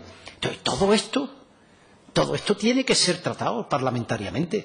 Si un parlamento no aborda estas cuestiones, pero mire usted, ese, ese, ese es el, ese es la, esa, en esa estamos. En esa estamos. Pero hasta ahora no hemos sido capaces, ¿eh? Hasta ahora no hemos sido capaces. Y hemos salido de ahí, pues... Perdón. Vale, perdón. Mira, eh, gracias por lo que me has dicho. Yo, primero, yo nunca he dado el salto a la política. Primero, porque he estado siempre en la política. Eh, yo he estado desde que tenía 16 años en organizaciones y, y militando en cosas muy parecidas, por cierto, a la chunta, con lo cual a mí no me tienes que explicar lo que es la chunta, eh, y desde la simpatía te lo digo, eh, en Geroa que es, bueno, eso sí que hay que explicar lo que es, ¿no? Eh, tampoco lo sé muy bien. En fin, es, un, es una coalición nacionalista muy sim, similar a, a, a, la chunta, ¿no? Eh, bueno, digo que no, no he dado el salto porque he estado siempre. Eh, y segundo, no he dado el salto porque no estoy dentro. ¿eh? Entonces yo nunca he estado ni dentro ni fuera, he estado siempre eh, comprometido con una causa y con unas ideas y echando una mano donde he podido, ¿no? Y claro, cuando uno se pasa la vida, eh, bueno, y me acuerdo que en un debate, una vez nos invitaron a, a, la radio a un programa a gente del mundo intelectual que nos habíamos dado el salto a la política. Y estaba Gaby, Londo, Ángeles, Caso, eh, Tony Cantó, que bueno, no es muy intelectual, pero bueno, tampoco es que lo, yo lo sea, y quién más había, no me acuerdo, varios más, García Montero y tal, y yo empecé, yo dije, primero, yo soy el único de los que aquí está hablando que no le va a cambiar la vida con las elecciones siguientes, porque yo voy a seguir fuera, porque estoy testimonialmente en una lista. Y segundo, porque ahí, el, empezando por el presentador y por la gente que llamaba a la radio, todo el mundo nos ponía fenomenal, ¿no? Es decir, mira, eh, nos ponen muy bien porque todavía no tenemos un cargo. En el momento en que tengamos un cargo nos van a poner a parir. ¿eh? Y por tanto hay un cierto mito del que llega, hay un cierto prestigio, tal, no sé qué, ¿no? Yo eso no, tampoco lo comparto eh, nada, ¿no?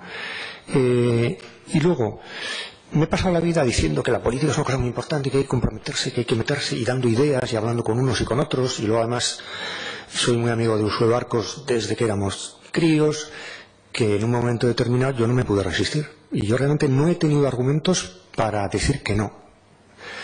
Segundo, eh, yo iba de telonero. Eh, yo iba de número dos, yo sabía que no iba a salir, con lo cual eso que tú me dices, yo no lo he dicho durante la campaña electoral, que he tenido que decir que iba a estar allí en Madrid y tal, pero no se lo quería nadie, ni de entrada la sociedad navarra que no me votó, ¿no? Eh, y, una última cosa. Mm, a veces me preguntan a mí, bueno, ¿esto cómo, cómo se hace compatible el trabajo tuyo con esta posición, posicionamiento político? Y yo, mi respuesta es, eh, mi ideal de cientificidad o de trabajo intelectual no es incompatible con tener una posición política definida en absoluto. Lo que es incompatible es con el sectarismo y con el partidismo. Y como yo siempre he estado incómodo en las organizaciones políticas en las que he estado, mm, y más o menos me han querido así, ¿eh? no mucho, pero me han querido así, pues, pues seguiré en la medida de mis fuerzas haciendo eso. Pero creo que ese ideal de objetividad como carencia de interés o carencia de compromiso es un ideal muy, muy, muy pasado. O sea, los que, los que la neutralidad es una política, a veces mucho más incisiva que el decir, oye, yo nadie es perfecto, yo soy de Guerrero Valle. ¿eh? Hay dos preguntas. Eh, Javier Martínez, yo soy diputado de Ciudadanos. Eh, eh, preguntarle simplemente una cosa, porque esta es una discusión que el señor Briz y yo tenemos muchas veces aquí en este Parlamento, aquí es que discutimos, de Gregorio, sí, sí. en cuanto a, eh, viendo el avance y tal y como ha planteado, viendo el avance de la tecnología en la sociedad, eh, don Daniel, y indicando que eso lo que está provocando es que esta se vuelva mucho más adaptativa, me gustaría conocer su opinión, aunque ya es un pequeño esbozo en lo que acaba de decir acerca de si eso podía tener pues eh, ciertas consecuencias en tres aspectos muy concretos. Una, en que haya más activismo, pero que este, eh, este, activismo sea mucho menos comprometido y más aparente en algunas ocasiones. Segundo, si eso puede estar provocando cierto desapego de las, en las ideologías, en esas ideologías que siempre han sido las que han orientado la política, y esto pues puede producir o puede ser la causa, si piensa que puede ser la causa, de esos cambios tan importantes, de esas adaptaciones a las situaciones concretas que se producen en el escenario de los partidos políticos que conforman los parlamentos. Quiero decir, en, en función de la en función de la percepción que se tiene de la sociedad, los votos podrían cambiar a una velocidad enorme, como bien ha estado indicando. Pero principalmente lo que más me interesa, por discusiones, como le digo, es el posible desapego hacia las ideologías que se pueda producir. Soy Francisco Llobet, soy miembro del patronato de la Fundación en representación de Ibercaja. Era un poco al hilo cuando surgía lo que pasó ayer, ¿no? Y al hilo del, del debate. Pues yo en principio creo que de lo que pasó ayer nos debemos de sentir muy orgullosos.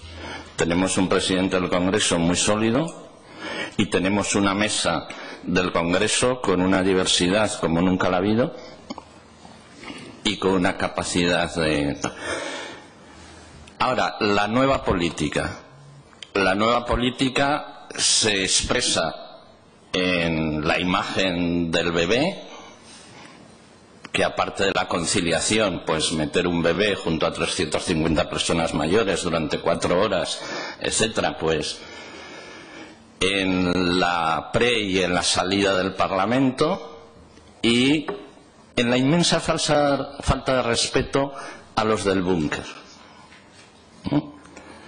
Yo ahí me sentí inmensamente dolido, porque no desvelando mi voto y diciendo que no vote a Podemos, pues hay siete millones y medio de votantes o siete millones doscientas mil del PP, cinco millones y medio del PSOE, tres millones seiscientos mil de ciudadanos que han alcanzado un acuerdo. En el que además Podemos también ha participado porque tiene dos miembros en la mesa. Entonces, esa desafección de la política, y en el caso español Podemos,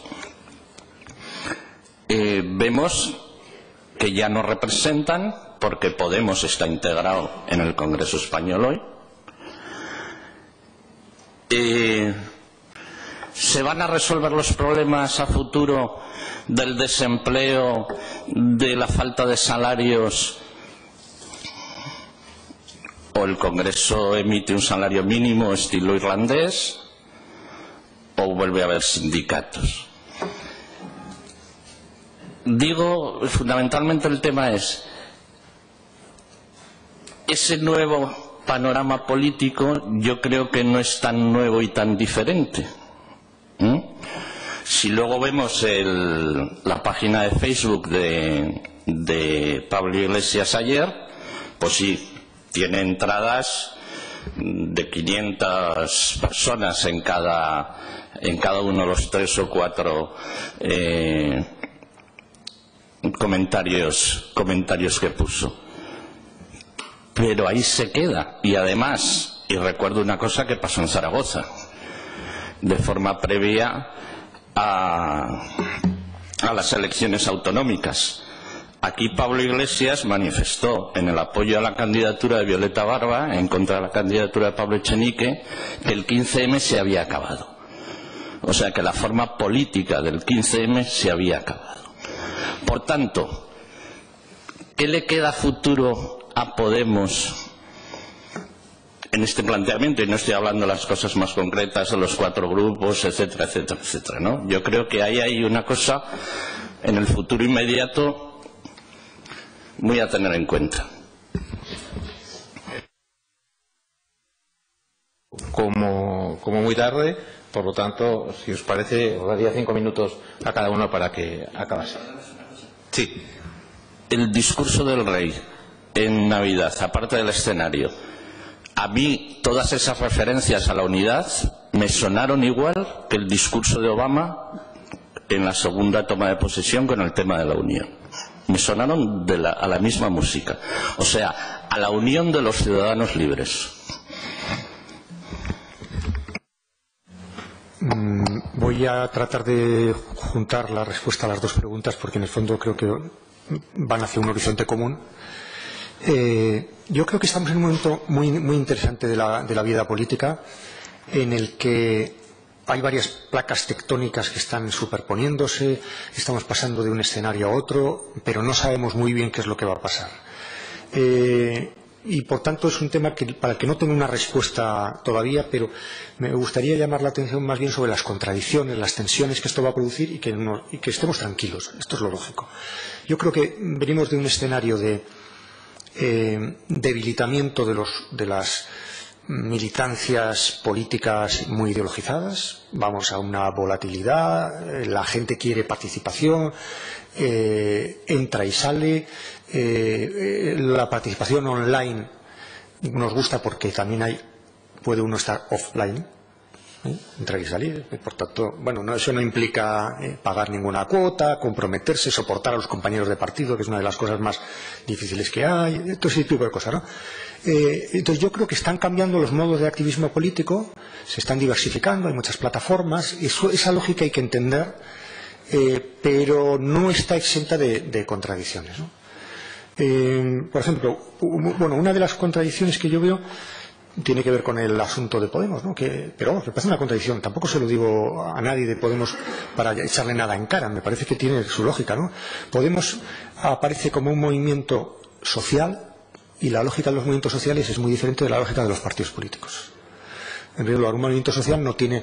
Una persona que protesta porque hay desahucios no tiene por qué hacer un pliego de condiciones económicas acerca de cómo arreglar el problema de los desahucios. Protesta y tiene razón, punto.